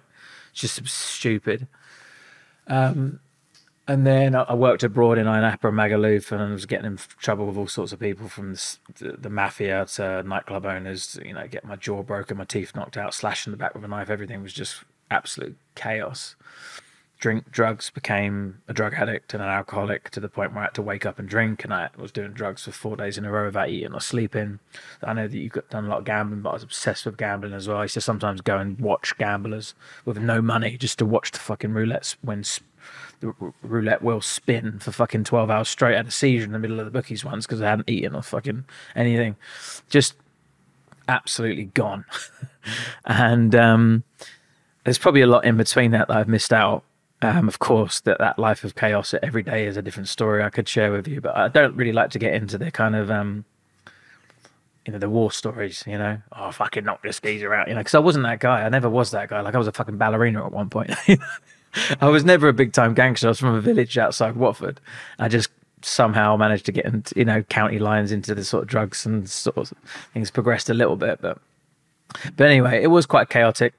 But it got to the point where I came back from my traveling abroad, thought I was choosing to do the drugs and the alcohol because it was part of the lifestyle and I was embraced for it. So I was like the craziest one on the island um, in Napa um, because I was just fucking swinging from balconies, fighting like with Cypriot mafia, literally. I know that sounds like bullshit, but uh, let's bring people in to prove it because they would tell me you better stories than I would. I can't remember half of this shit because I blacked out every night. But I'd wake up in the morning and I'd say to my mate, "What? What did I do?" And he'd say, "Oh, you fucking punched the fucking mafia." And I'm like, "No, I didn't." like, yeah, you did. Um, but they kind of had a weird sort of level of respect for me in the end because I was just this crazy nutcase. Anyway, so life went chaotic. Came back from abroad and realized that I was still needing drinks, still needing drugs. Got a job because I could always put a front on, could always put a suit on, and look like a very well respected, you know, working class white guy. You know, I, I didn't have any bru- like I've had lots of bruises on my face, but you know, when they healed, didn't have any scars. So I could, and, and I would never dis- disclose my criminal record, so I could walk in and get most jobs. You know, I could blag an interview easily. So I got this job as an IT sales rep again. It was around Christmas, and two weeks in, I had a fight at the Christmas party and got sacked. Mm-hmm. Uh, so it was Christmas time, and um, I went out and I was in a taxi queue and I didn't realize there was a long taxi queue, and I just jumped straight to the front, tried to get in a taxi, and some guy started to grab me. And this is not an excuse. This is just to explain what was going on. Because to this day, I don't know what the guy looked like. Because all I can see is my dad's face. I just, I just remember my dad going, "You fucking idiot, you buffoon," you know. It triggers you. Yeah, triggers a real thing. It's no excuse. You can't just say, "Oh, I stabbed him because he triggered me." You know, I understand that, but it's you know, it makes sense as to why people do things like that. People don't just always decide I'm going to go out and commit that crime. There's, re- usually a reason for it, and sometimes it's because you know something's happened, or sometimes it's because the the situation's escalated and it's caused you to react in a certain way due to previous experiences or trauma and what have you. Anyway, this guy shouted in my face. He called me something. He reminded me of my dad. I was 25. He was 40. Um, and I punched him, and he went straight down head first. Uh, and there was a thud like a, right on the concrete, and um, everyone looked around the train station, and then I looked over him, and I was gonna stamp on him. To be honest, you know, it's the sort of horrible fuck I was. I'll be honest. Um, I did not have any morals with fighting. I'd stamp on people's heads. I just wanted to win. That was my only intention. And um, I looked over him, and I saw saw this slow, dark trickle of blood and I'd only seen that in films when someone had been like shot in the head, and I thought he's dead. He is dead.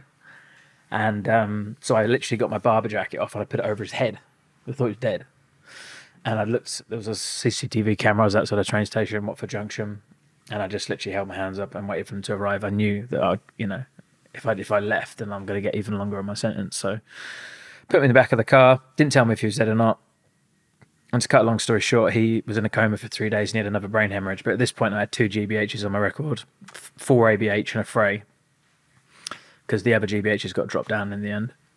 Um, and two two of these GBHs both caused brain hemorrhages. So obviously, I went to prison.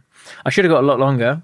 Um, they said you would get three years, but I pleaded guilty at the scene, so they gave me half off. I usually get a third off for, for pleading guilty, but I got half, so I got 18 months, which is actually a very low sentence. But again, like you know, I feel sorry for people that get judged, you know, by the way that they look. But I think just always, if you put a suit on and you slick your hair to the side, I think you get half your sentence.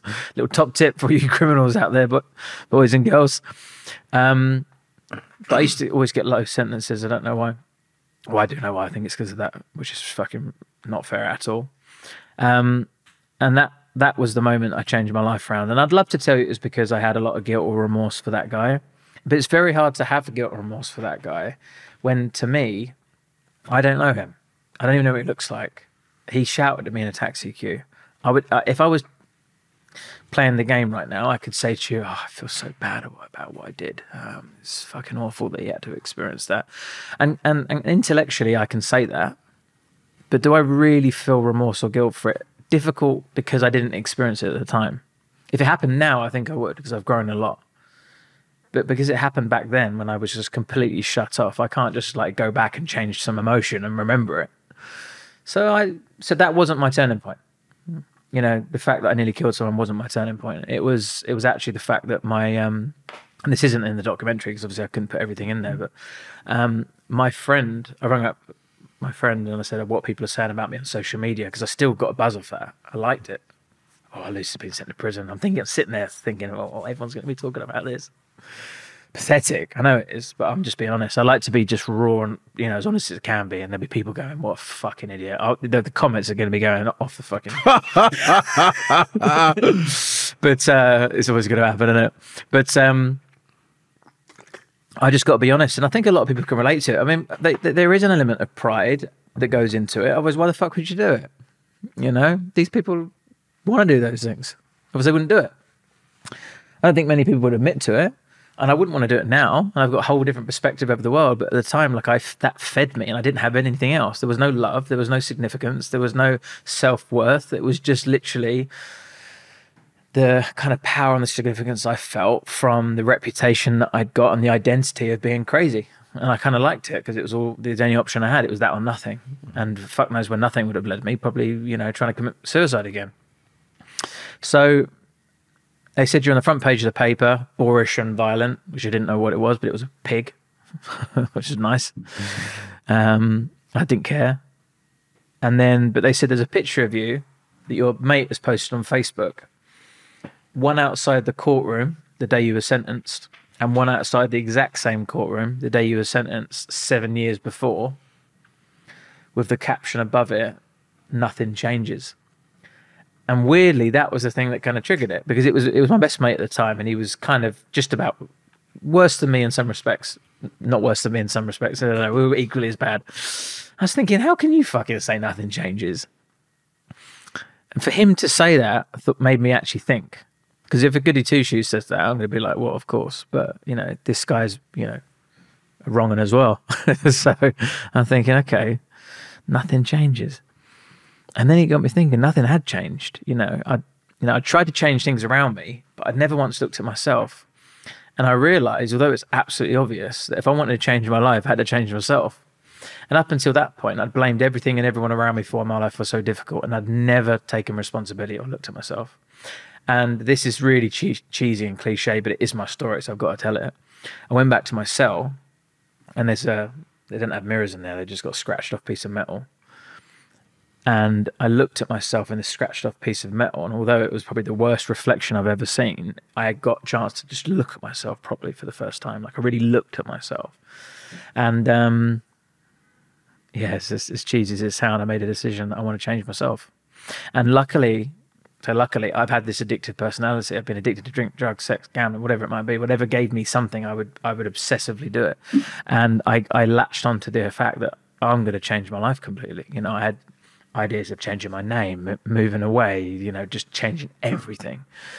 And I got addicted to personal development. Uh, started small uh, in prison. I started to, you know, read, tidy up my cell, go to the gym, sign up for maths and English lessons, um, do rehab programs, do counseling, do AA meetings, and I realized that there was so much support available. You know, I was I was the guy that was going fuck everyone, no one wants to help me. They, you know, they just want to keep us locked up. Blah blah blah. The moment I opened my eyes and just looked for help, it was there everywhere, and one thing led to the next. And uh, I started off with maths and English, and um, that was an interesting sort of thing that I had to go through because obviously I had this fear of being stupid and I'd left school with no GCSEs because I was expelled. And I was doing maths and English functional skills one and two, which is the equivalent of like a 10 year old.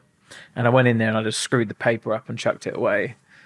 And, um, and, uh, even though I was the one that signed up for it, you know, 25 years old, I was acting like a kid. And then uh, the prison shooter, a little old lady, come and sat down next to me and asked me what was the matter. And I just said, I just don't understand which is really weird for me to say because I didn't even try and understand it. Didn't read the paper, hadn't looked at the board, didn't even know what the class was about. And then I realized I was just on this autopilot of I'm never going to allow anybody to prove that I'm stupid because it's this deep fear of proving my dad wrong.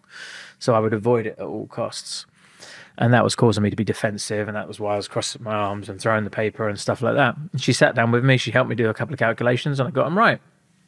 And she eventually supported me to to do my maths and English functional skills. And I could go into this whole journey, but maybe they can watch a documentary to see the whole thing. But I did that. I then did this RAPT program, which is Rehabilitation of Addicted Prisoners Trust, and that was the first time I got a chance to to learn something about emotions because they used to give us pieces of paper. Well, before they gave us pieces of paper, they would ask us how we felt, and we'd go around in a circle and just, we'd all just say, "I'm right," or "I'm angry," or "I'm hungry." that was all that we would say because no one had any other range of emotion, whether it was these personality disorders or the fact that they've never never learned to nurture them.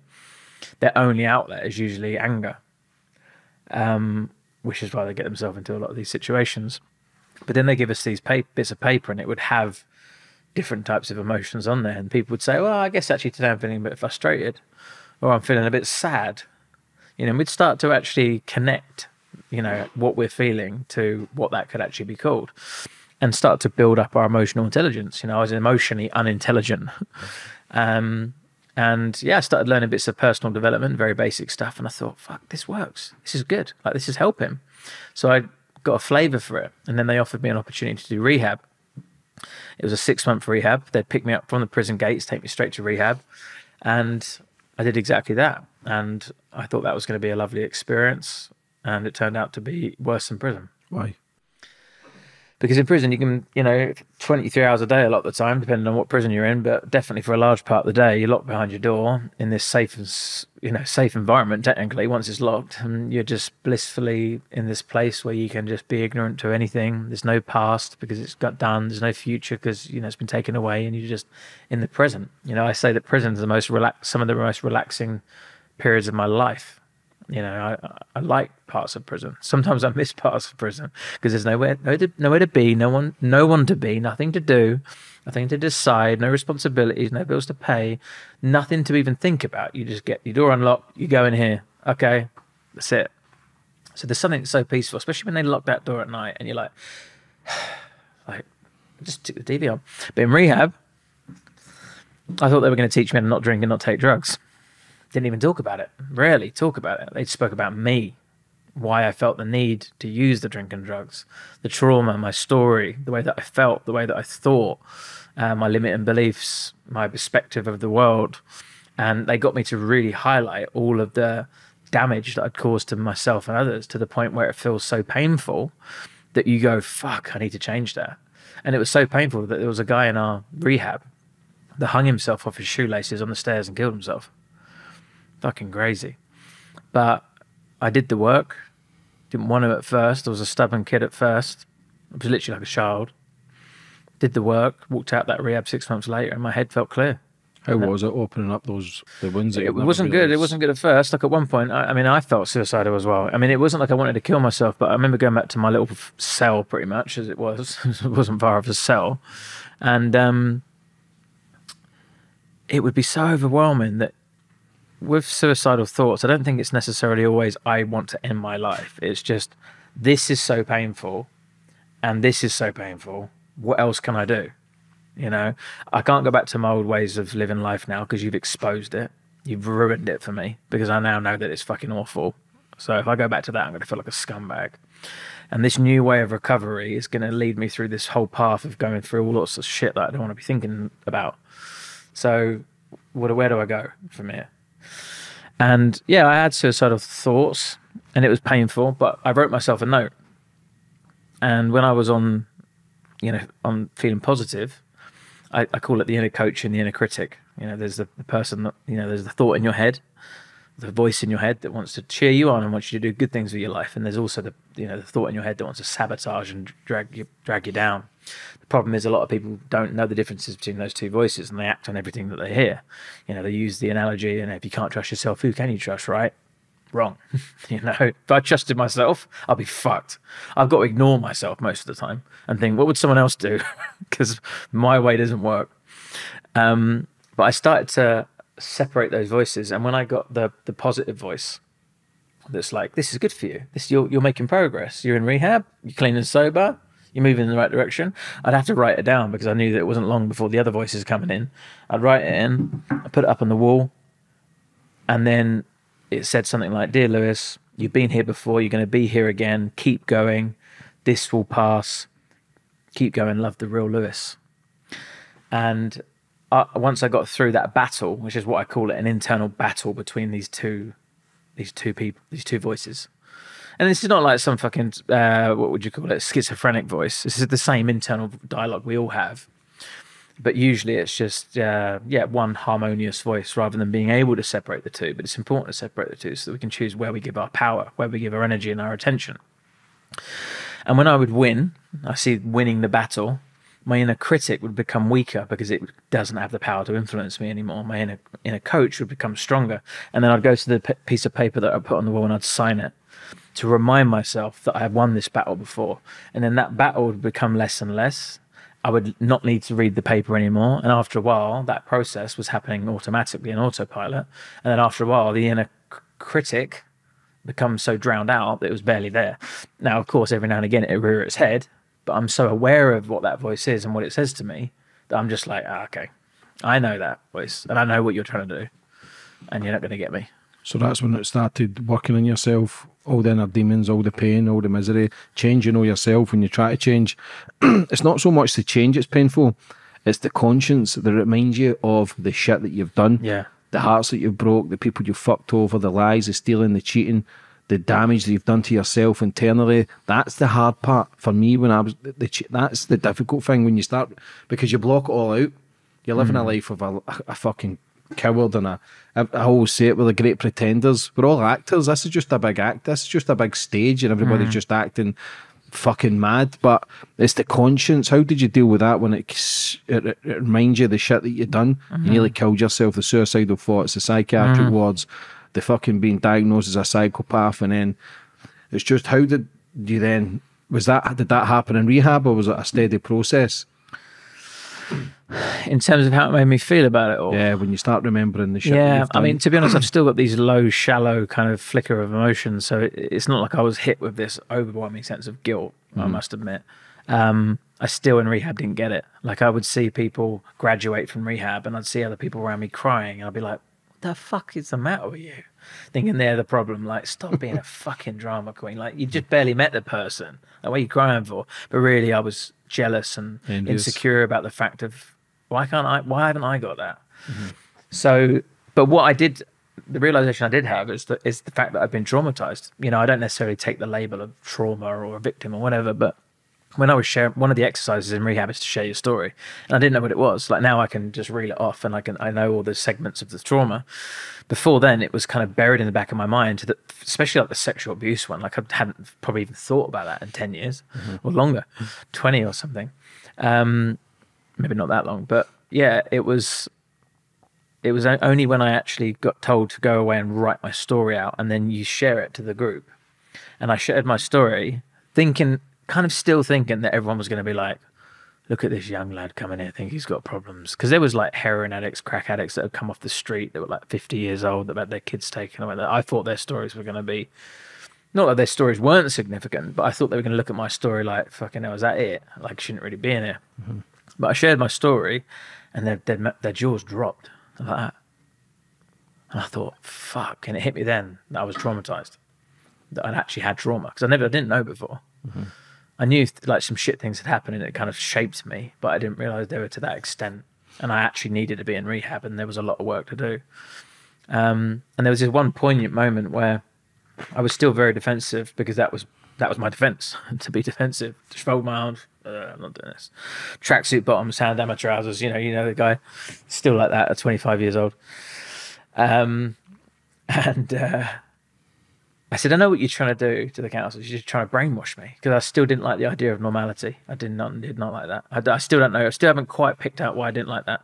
But I think it's because I've got this extreme mindset, black and white thinking. I'm either going to be a fucking career criminal or I'm going to be a fucking god. Should have said that. That'll be the fucking papers tomorrow. But um, I've got this black and white thinking. I think it actually might come from the personality disorder. Actually, I think it's one of the symptoms. Um, all or nothing. Um, but I said, you're just trying to brainwash me. Um, you just want me to be like you, and I don't want to be like you, and I know better. I didn't probably say that exact words, but I was thinking that, and I said something along those lines. And she said, Lewis, your best thinking, your absolute best thinking, has put you into prison and now into rehab. Maybe your brain needs a good wash. And that was a real that was the realization that I kind of needed to sort of hit my ego a little bit and realize that my way wasn't working and that you know I had you know I, I I married that up with the fact that I had these two, two voices and realized she was the one in favor of this empowering inner coach that's going to drive me forward and if I keep on listening to myself and this inner critic, then I'm just going to revert back to my old ways, like I kept on doing over and over again. You know, make two steps forward and 10 steps back, wondering where everything went wrong. Things spiraled out of control all the time. And so I decided I needed to try somebody else's way. So I did all of their stuff and I hated it all, mm-hmm. but it fucking worked. So how long ago was this? Eight years ago. Did you start the life coaching stuff then? Because back in the day, I used to listen to Les Brown, Tony Robbins, get Yeah. an understanding of it, of life and changes. But when did the life coach stuff start? When did you Yeah. start this multi-million pound business? So I started off, um, I finished rehab, that was six months. Then I did AA and NA meetings, did 90 meetings in 90 days. And there was a guy that came up to me one day and he said, um, Can you help me? And I was like, What the fuck are you asking me for? I'm an addict as well. I'm fucking no use to you, mate. You don't want to learn anything from me. He said, Oh, no, but this is my first day. Um, so I said, all right, there's, you know, you can get a cup of tea over there and, you know, you can, there's leaflets over there and there's fag break halfway through. And then it made me realize actually I can help people, even though I'm not, you know, where, exactly where I need to be. I'm, you know, I'm one step ahead. And that kind of gave me a little realization and I felt kind of good for helping that person for the first time. I've never helped anyone before. And I think that was where of anyway. And then, um, part of my I was on employment support allowance, like benefits, and I can't remember what it was a part of, whether it was probation. I think it was probation, but I had to do voluntary work as a part of it. And I did some voluntary work and I started enjoying that as well. And I just got a bit of a, I just got immersed into this world of personal development. And I was seeing the changes in my life. And I moved away from all my friends and family and lived in Portsmouth where this rehab was and I was blown away that I changed my life. You know, I never thought I was going to change. You know, I wasn't the one that was going to change. Some people might have changed, but not me. But I did. so I was compelled to share it. So I started just sharing it with pretty much everyone I spoke to. And I used to always look for people online that looked miserable and say, "Hey, do you want to go for a coffee?" And we'd meet up at Costa Coffee, and I'd sit there and have a coffee with them. I'd even buy the coffee, and then sit down there and just help them for free and fucking blow their minds. And then I realized that everything in rehab, everything in um, the AA meetings, everything that I'd ever experienced, that not only I got through myself, but listened to in other people's stories and their relapses and breakthroughs and their denials and beliefs and you know triggers and traumas. I'd absorbed it all, and I'd created the you know the world's best life coaching training, in my opinion. And I went away and did some qualifications and things like that, and started to charge for it. And this was bef- this was seven years seven years ago. I was actually only about seven years, uh, seven months out of jail when I became a life coach, which is fucking mad when you think about it. But take action, guys. You know, don't wait. You Yeah, there's people in prison who come life coaches. yeah. Yeah, wow. That's, people and anybody can change. I always fucking say it, and I'll keep saying it for people to register in their mind. No matter your background, no matter who you are, what you are, you can make better changes to make better decisions in your life to be a better individual. hundred percent. Doesn't make you doesn't mean you're immune to all pain and traumas. You're all, you're going to be living to the day you die with all that pain and trauma. It's just you don't feed it anymore. Mm. I think about drinking, drugs, and gambling all the all the fucking time. Mm. I just don't act on it. It doesn't have the power the way it used to when I was weak, when I was soft, when I was fragile, when I thought that was the right idea. There comes a stage of your life you go, enough's enough. I don't mm. want to be this fucking idiot anymore. Yeah. You know what I'm saying? So you've started the life coaching business, and so So it was free at first, um, just helping free- people. Yeah. Um, Feeling good about it because when I was going again through my changes, I was preaching all the time. I ended up becoming a fucking PT, and I felt as if I was preaching because I'd made these changes and I wanted to share it with everybody. Yeah. But you know yourself, when you're on that journey, back in the day, if you were in the fucking mental institute and high on gear, somebody says to you, Look, I can change it, you'd have told me fuck off. You'd think he was crazy. Yeah. So I seen that at the start, was preaching a lot. Did you were you doing that sort of thing? I tried to hit it from a different point of view where I didn't tell people what to do and I just shared what I went through. So I took it from an uh, I point of view rather than you point of view. People don't like to be told what to do, you know. But they See, I was telling everybody, don't Yeah, drink yeah. fucking. I think it's the pink Don't slip. drink. Yeah, it's fucking mugs game. I was reading that about alcohol, and people were saying he's just a fucking pest. some people might, some people would have got a lot from it, but I think it's much better for people to come to their own uh, realizations and their own epiphanies and learn from your story. You know, they hear, you hear your experience and they go, maybe I should give up drinking. You know, mm-hmm. that's way more empowering because it's something that they've decided to do and a choice that they've made for themselves. Someone tells you to do that. I, rem- I remember my dad came into my room once when I was a young kid and he went, and I was actually starting to tidy my room up. And he came up and he went, tidy your fucking room.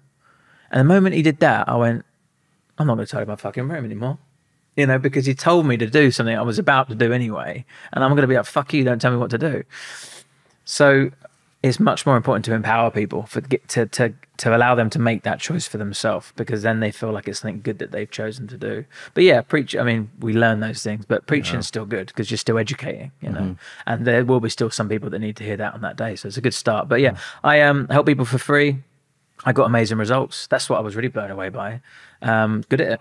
Um, naturally good at it. Obviously, got a lot of experience in it, and and and coupled that with traditional tools, techniques, models, and frameworks, you know, that have been around in the coaching industry for decades, and started using these models and things that I'd learned and, and stuff like that. But I just got it because I'd been there. You know, people would share their stories, and I'd be like, "Oh yeah, I remember that one," you know, and I remember that, and and let me share something with you that I have experienced, and and also because I had such a uh, damage, you know, damaged background. Oh, that's probably not the right way of doing it. Such a destructive background. People felt very safe around me and that they wouldn't be judged because uh, they thought, "Fucking no, this guy's not going to judge me because I've done nothing compared to what he's done." So it allowed people to open up to me in a way that, that they'd never been able to open up to people before, and that was really helpful. And um, I was the I started doing some local networking meetings in Portsmouth, and I, I, met up with about four people and had a coffee. And you know, one of them was like an Excel spreadsheet woman, and one of them was something else. And I thought, I'm never going to make any money here. So I started doing the Facebook groups and the online social media stuff. And this was before it was really a thing. Um, you know, I, I, started doing my coaching sessions on Facebook video call before Zoom was even a thing. Um, and I and I grew a six figure business quick. Seven months took. And then I moved into sort of digital products, courses, membership sites, hiring team members, and just reinvesting everything. Like everything I earned, I put back in. I took modest amounts of money. I, lived a good life, but I never took big chunks, never bought houses or cars. I traveled Bali. Um, yeah, lived lived off enough money to live, but just put everything into reinvesting into staff and technology and to make the business bigger and better. And um, yeah, within five years, it was valued at $25 million.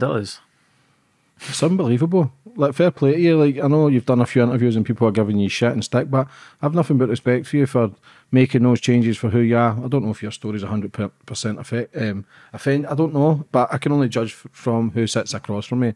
I don't pass judgment on their story, but I can make an assumption of, you know what, a guy's fucking made his mistakes, he's learnt from it, because I know what it's like to make change. It's the strongest people on the planet to then put their hands up and go, I need help. That's the strongest form for me on this planet. It's not sitting in a pub or sitting taking gear or writing negative comments. That's a weak link.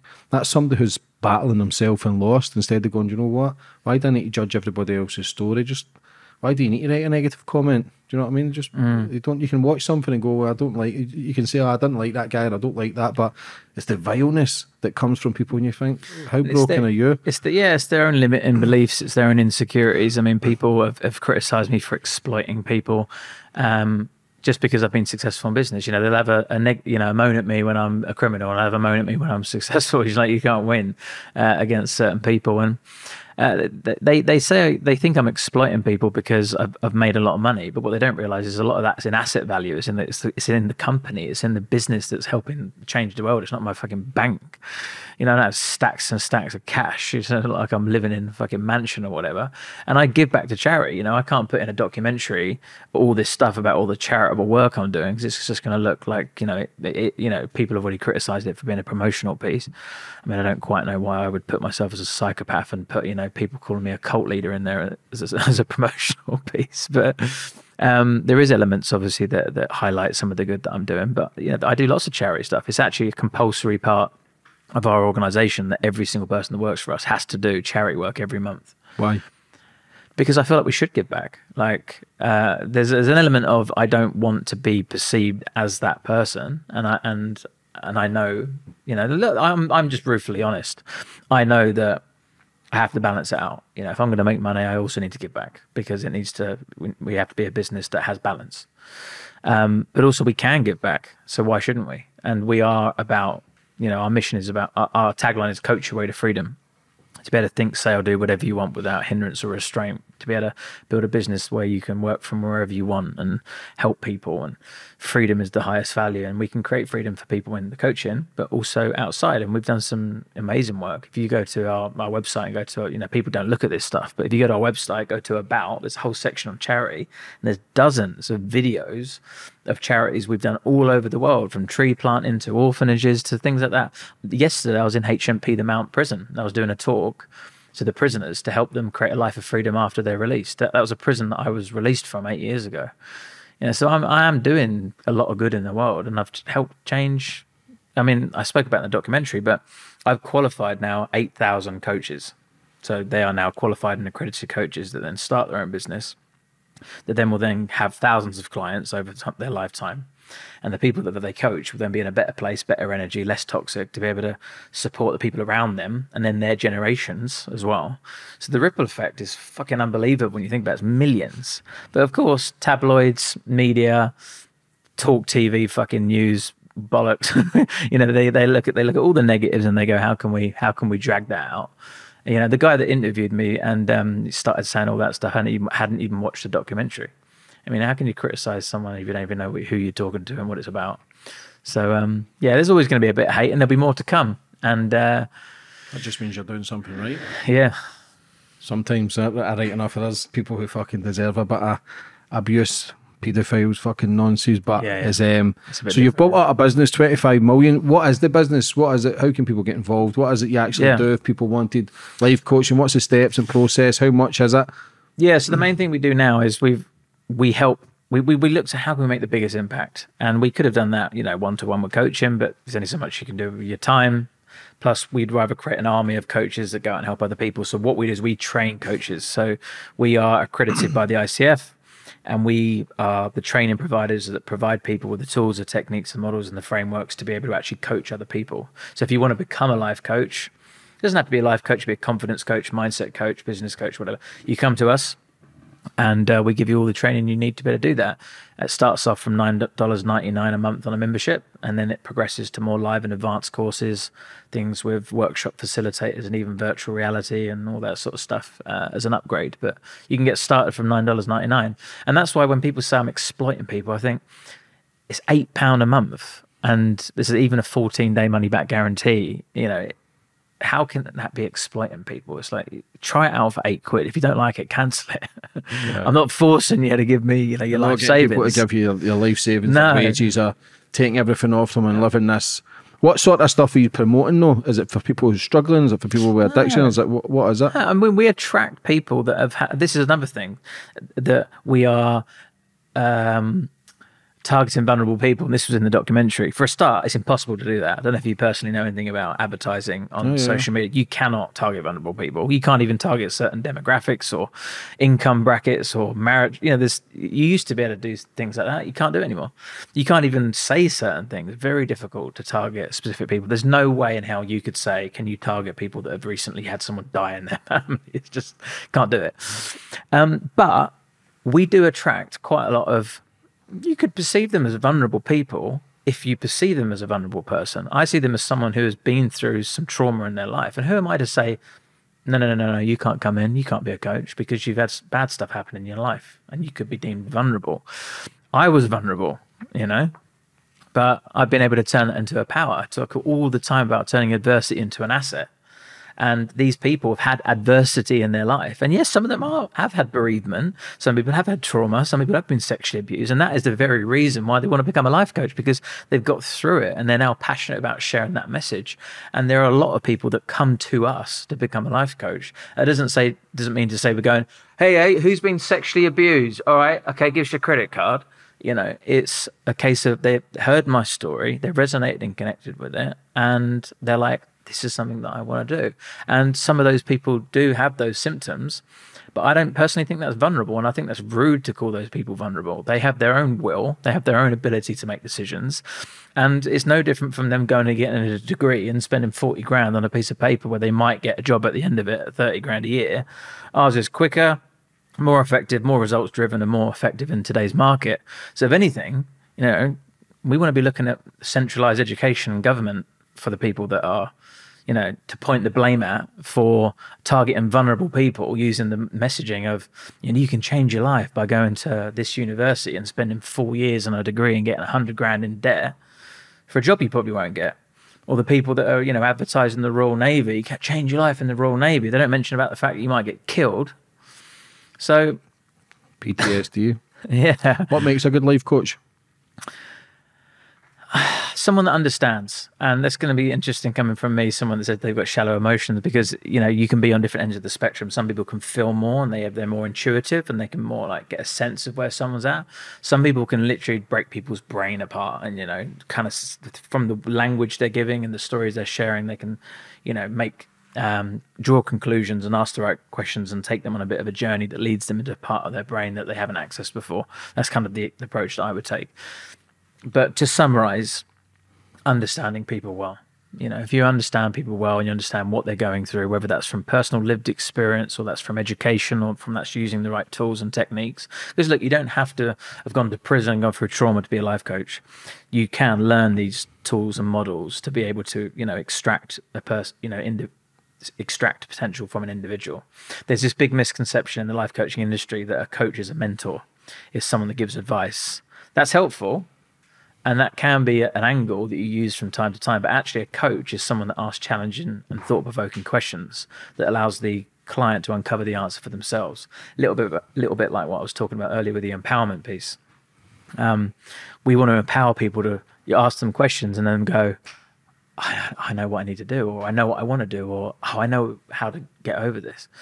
Um, so, understanding people fully and knowing what questions to ask at the right time to allow the client to uncover the answers themselves and get results.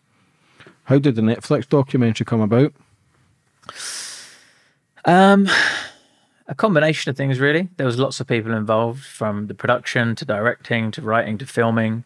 Um, I'm obviously very entrepreneurial, so I, I, was the one that wanted that to happen. So of course I had an influence in trying to pull that together and speak to the right people and make sure that happened. It wasn't like Netflix said, "Hey, we want to do a documentary on you. Let's commission it. Let's give you a load of money." Um, I had an influence. It's my story. I've got a message to share. Um, but yeah, it was just a, you know, a piece of content that I wanted to get made. I was uh, impartial to it, like it, it, was edited out of my control. I didn't watch the interviews. I don't know what questions were asked on the interviews. Um, obviously, I said what I wanted to say. I did have an involvement in some of the edits, um, but I, I, I wanted it balanced. I wanted it to be fair. I wanted it to be true, raw, and authentic. And if the producers wanted me to to have a certain thing in there, even if it wasn't favorable, I wanted. I was like, cool, do what you think. Um, because yeah, I want people to make their own opinion up on me. I don't want to create a narrative where it's like, this is me, because no one wants to watch that shit anyway. Uh, it needs to be a bit gritty, but I wanted it to be balanced enough where people can make a decision and not give enough information away to the point where I give people answers.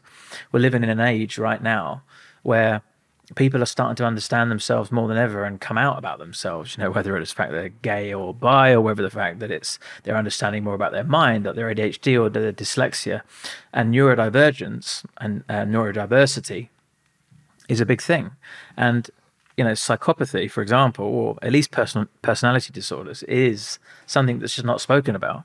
And can you imagine if people could speak about it, get awareness around it, and go, fuck, that's what I've been living with, and be able to channel that out of you know destructive behaviors and maybe get out of prison for example and start channeling it into something that might help them thrive and help uh, make society a better place. So I wanted to spark a conversation around that, and, and and by giving the answers too heavily, it wouldn't have sparked a conversation. But I'm hoping people start talking out more about: Is Lewis a psycho? Was he a psycho? Has he learned to channel that psycho behavior? Am I a psycho? Is psycho even a bad thing? Because it's one, it's probably one of the only, only mental disorders that's not spoken about, and doesn't have this kind of woke mentality about it. I mean, you can call someone a psycho all day long. Even that guy in the interview, he said, I'd rather do that than take advice from a psychopath. Imagine if I said, imagine he said, I'd rather do that than take advice from someone with bipolar. He'd be cancelled like that, wouldn't he? What's the difference? So, yeah, I, I had an involvement, and um, but there was a big team on it, you know. It was a. How's it been for the career? Is it a positive or a negative? I mean, it's only new. It's a, we did a nice big premiere in Mayfair, packed that out. That was fun. Um, and then launched on Netflix, went into top 10. So amazing. It was eight. It beat The Grinch. No, it was seventh, I think. Seventh or eighth. Beat The Grinch. Happy about that. Fuck you, Jim Carrey. No, I'm joking. Um, only because it's November, to be fair. If it was December, I don't think I'd have had a chance of beating The Grinch. But it, but top 10. So I was amazed by that. Lot, thousands of messages, all positive. People saying that it's like the first time they've ever related to someone before. Um, you know, so proud of me being able to share the vulnerabilities, similar stories. You, know, you would have, you will get the exact same thing, but people don't talk out about this enough. And I think they were quite surprised about how honest I was, and it gave them the hope that they can be honest about what's going on for them because uh, a lot of people hold it in shame, and obviously that doesn't help anybody. And it's been good. Yes, brought in customers, brilliant. Um, it's brought in some publicity, brilliant. Um, it's brought in some negative publicity. So what? Also brilliant. And I think this is just the start now. So I'm looking forward to seeing what comes from it. And uh, yeah, keep sharing that message and inspiring people and and uh, and hopefully changing the perspective of of, uh, of people's identity, which is ultimately what this comes down to. It's how they see themselves. I saw myself as a bad, unlovable kid and eventually a psychopath. If you think that, you're going to act like that and you're going to be that. Mm. And the reality is, I'm not bad, I'm good, and I am lovable. And I might be a bit of a psycho, but it's not always the worst thing. yeah. How has it been a father with a newborn? Did you have all the old negative traits? Because did you ever worry that you could have potentially been the same as your own dad? No disrespect to your dad, but yeah. you know what I'm talking about. Um, I didn't have no. I never never thought I would be like my dad because I would make a conscious effort to, to do the complete opposite. I had a bit of a fear that I wouldn't bond, connect as much as I wanted to, and I was really desperate to cry when the baby was born because I thought if I don't, then I'm really fucked. so if I don't cry when my baby's born, mm. then uh, I really am a psycho, and I cried. So I was like, yes. Um, I think it was also because um, we we lost a baby as well at 26 weeks. Sorry to hear that. Um, and and we had to. It was past the stage of kind of abortion or whatever. So we had to give birth to the baby. So we gave birth to a stillborn, had a funeral for uh, for her and everything. So I was waiting for that scream, and I've been watching the midwife programs and everything, and you know, I was waiting for that scream. I just wanted the baby to come out and scream and be like, mm. and the baby, and as soon as Ocean's his name, as soon as he came out, literally within a fraction of a second. And I was like, ah! so emotion release, unblocked. Thank fuck I'm not a full psycho, and also just relief. Um, and it, and it was an amazing feeling. And and and look, I'll be honest, it was it was a challenge at first. I found it quite overwhelming. I don't know why. Just I guess it's probably quite normal with having a child. Um, I, I probably didn't bond as quickly as as maybe some. Um, definitely compared to my wife, who's an empath, who's just absolutely obsessed with him, whereas I'm probably not quite. But I feel I can feel that love and that bond growing day by day, which is lovely to see. Um, so I think it's a journey. Fatherhood. He's only ten weeks old, so we've got plenty of time. But I'm going to be a good dad. It's my mission. Yeah, good on you, bro. Listen, last question. Plans for the future? Well, as I said in the documentary, I want to be a Hollywood actor. Um, but that's not, you know, that was a bit more of a superficial sort of jokey. Well, it's not jokey. I am going to do that. But um, um, one of my, next plans is to create a, a, next generation education platform. I've helped coaches, but that's just a, a piece of the puzzle. I want to I am creating a platform. It's already in the works to create a, a blended learning uh, platform for both children and families where they can learn and co-learn together. Because there's no point teaching a child something if they're not if it's not being enforced at home, and there's no point teaching an adult something if uh, they don't know how to communicate it to their children. So it can be this one platform. Everything that the education system is not providing. Um, it's not going to have necessarily maths or English and stuff in there, but it's going to be uh, alternative learning for families that want to thrive in the 21st century. So, moving out, not now out of the coaching industry, I'm very passionate about that. I'm going to continue building my brand and doing all those sorts of things, but I want to create a bigger impact. The education industry is built off the Industrial Revolution 100 years ago, and it's just archaic, outdated, it doesn't work. And it's a $1.5 trillion industry. So, the businessman inside me is like, there's a problem there, one to be solved and um, you know I've got a long sort of career ahead of me, so I want to see if I can tackle it. For anybody that's watching, it's maybe in a life or struggle just now, doesn't know where, how to get out. What advice would you have for them? Have hope. You know, I think that's the biggest thing. People seem to think that there is no no way out, and it takes podcasts like this to inspire people and realize that the change is possible. You know, if there's no belief that there is a way out, then it's just you're going to feel like you're in this dark hole and there's nothing you can do about it. Understand that there is. There's lots of resources available. If it's addiction, there's drugs and alcohol meetings. If it's anything else, that you know, there's lots of free services. But there's also lots of tools. There's these podcasts, there's YouTubes, there's books, and as long as you actually do absorb that information and implement it in your life, which is obviously key, it doesn't take long before you, you your map of the world is changing. Um, so I just say, take do the work, you know, as uncomfortable as it is. Uh, take action and come and join the coaching masters. How can people get in contact with you if they want to check you out or ask you questions? What's your social medias? Yeah. And Um, so Lewis Raymond Taylor, I'm the only one in the world, um, just because it's three first names, a bit weird. So Lewis Raymond Taylor on all platforms. I'm mainly active on Instagram. I answer uh, my messages on there as well. So if anyone's got any messages, drop me on Instagram, and you can check out the Coaching Masters at thecoachingmasters.com. And that's it. would you like to finish up on anything else, brother? Just been a pleasure to have a, just a general chit chat and uh, not be grilled. And thank you for being uh, positive and inspiring, and uh, you know, not being one of these clickbaity kind of media, you know, controversial prodders that are there to cause drama, mate. I appreciate it. It's been a really uh, enjoyable conversation. Yeah, listen, fair play to you, mate. I wish you nothing but the best for the future. Good luck to you, the missus, and the baby, and I look forward to seeing what you do, brother. God Thanks, bless mate. you. Cheers.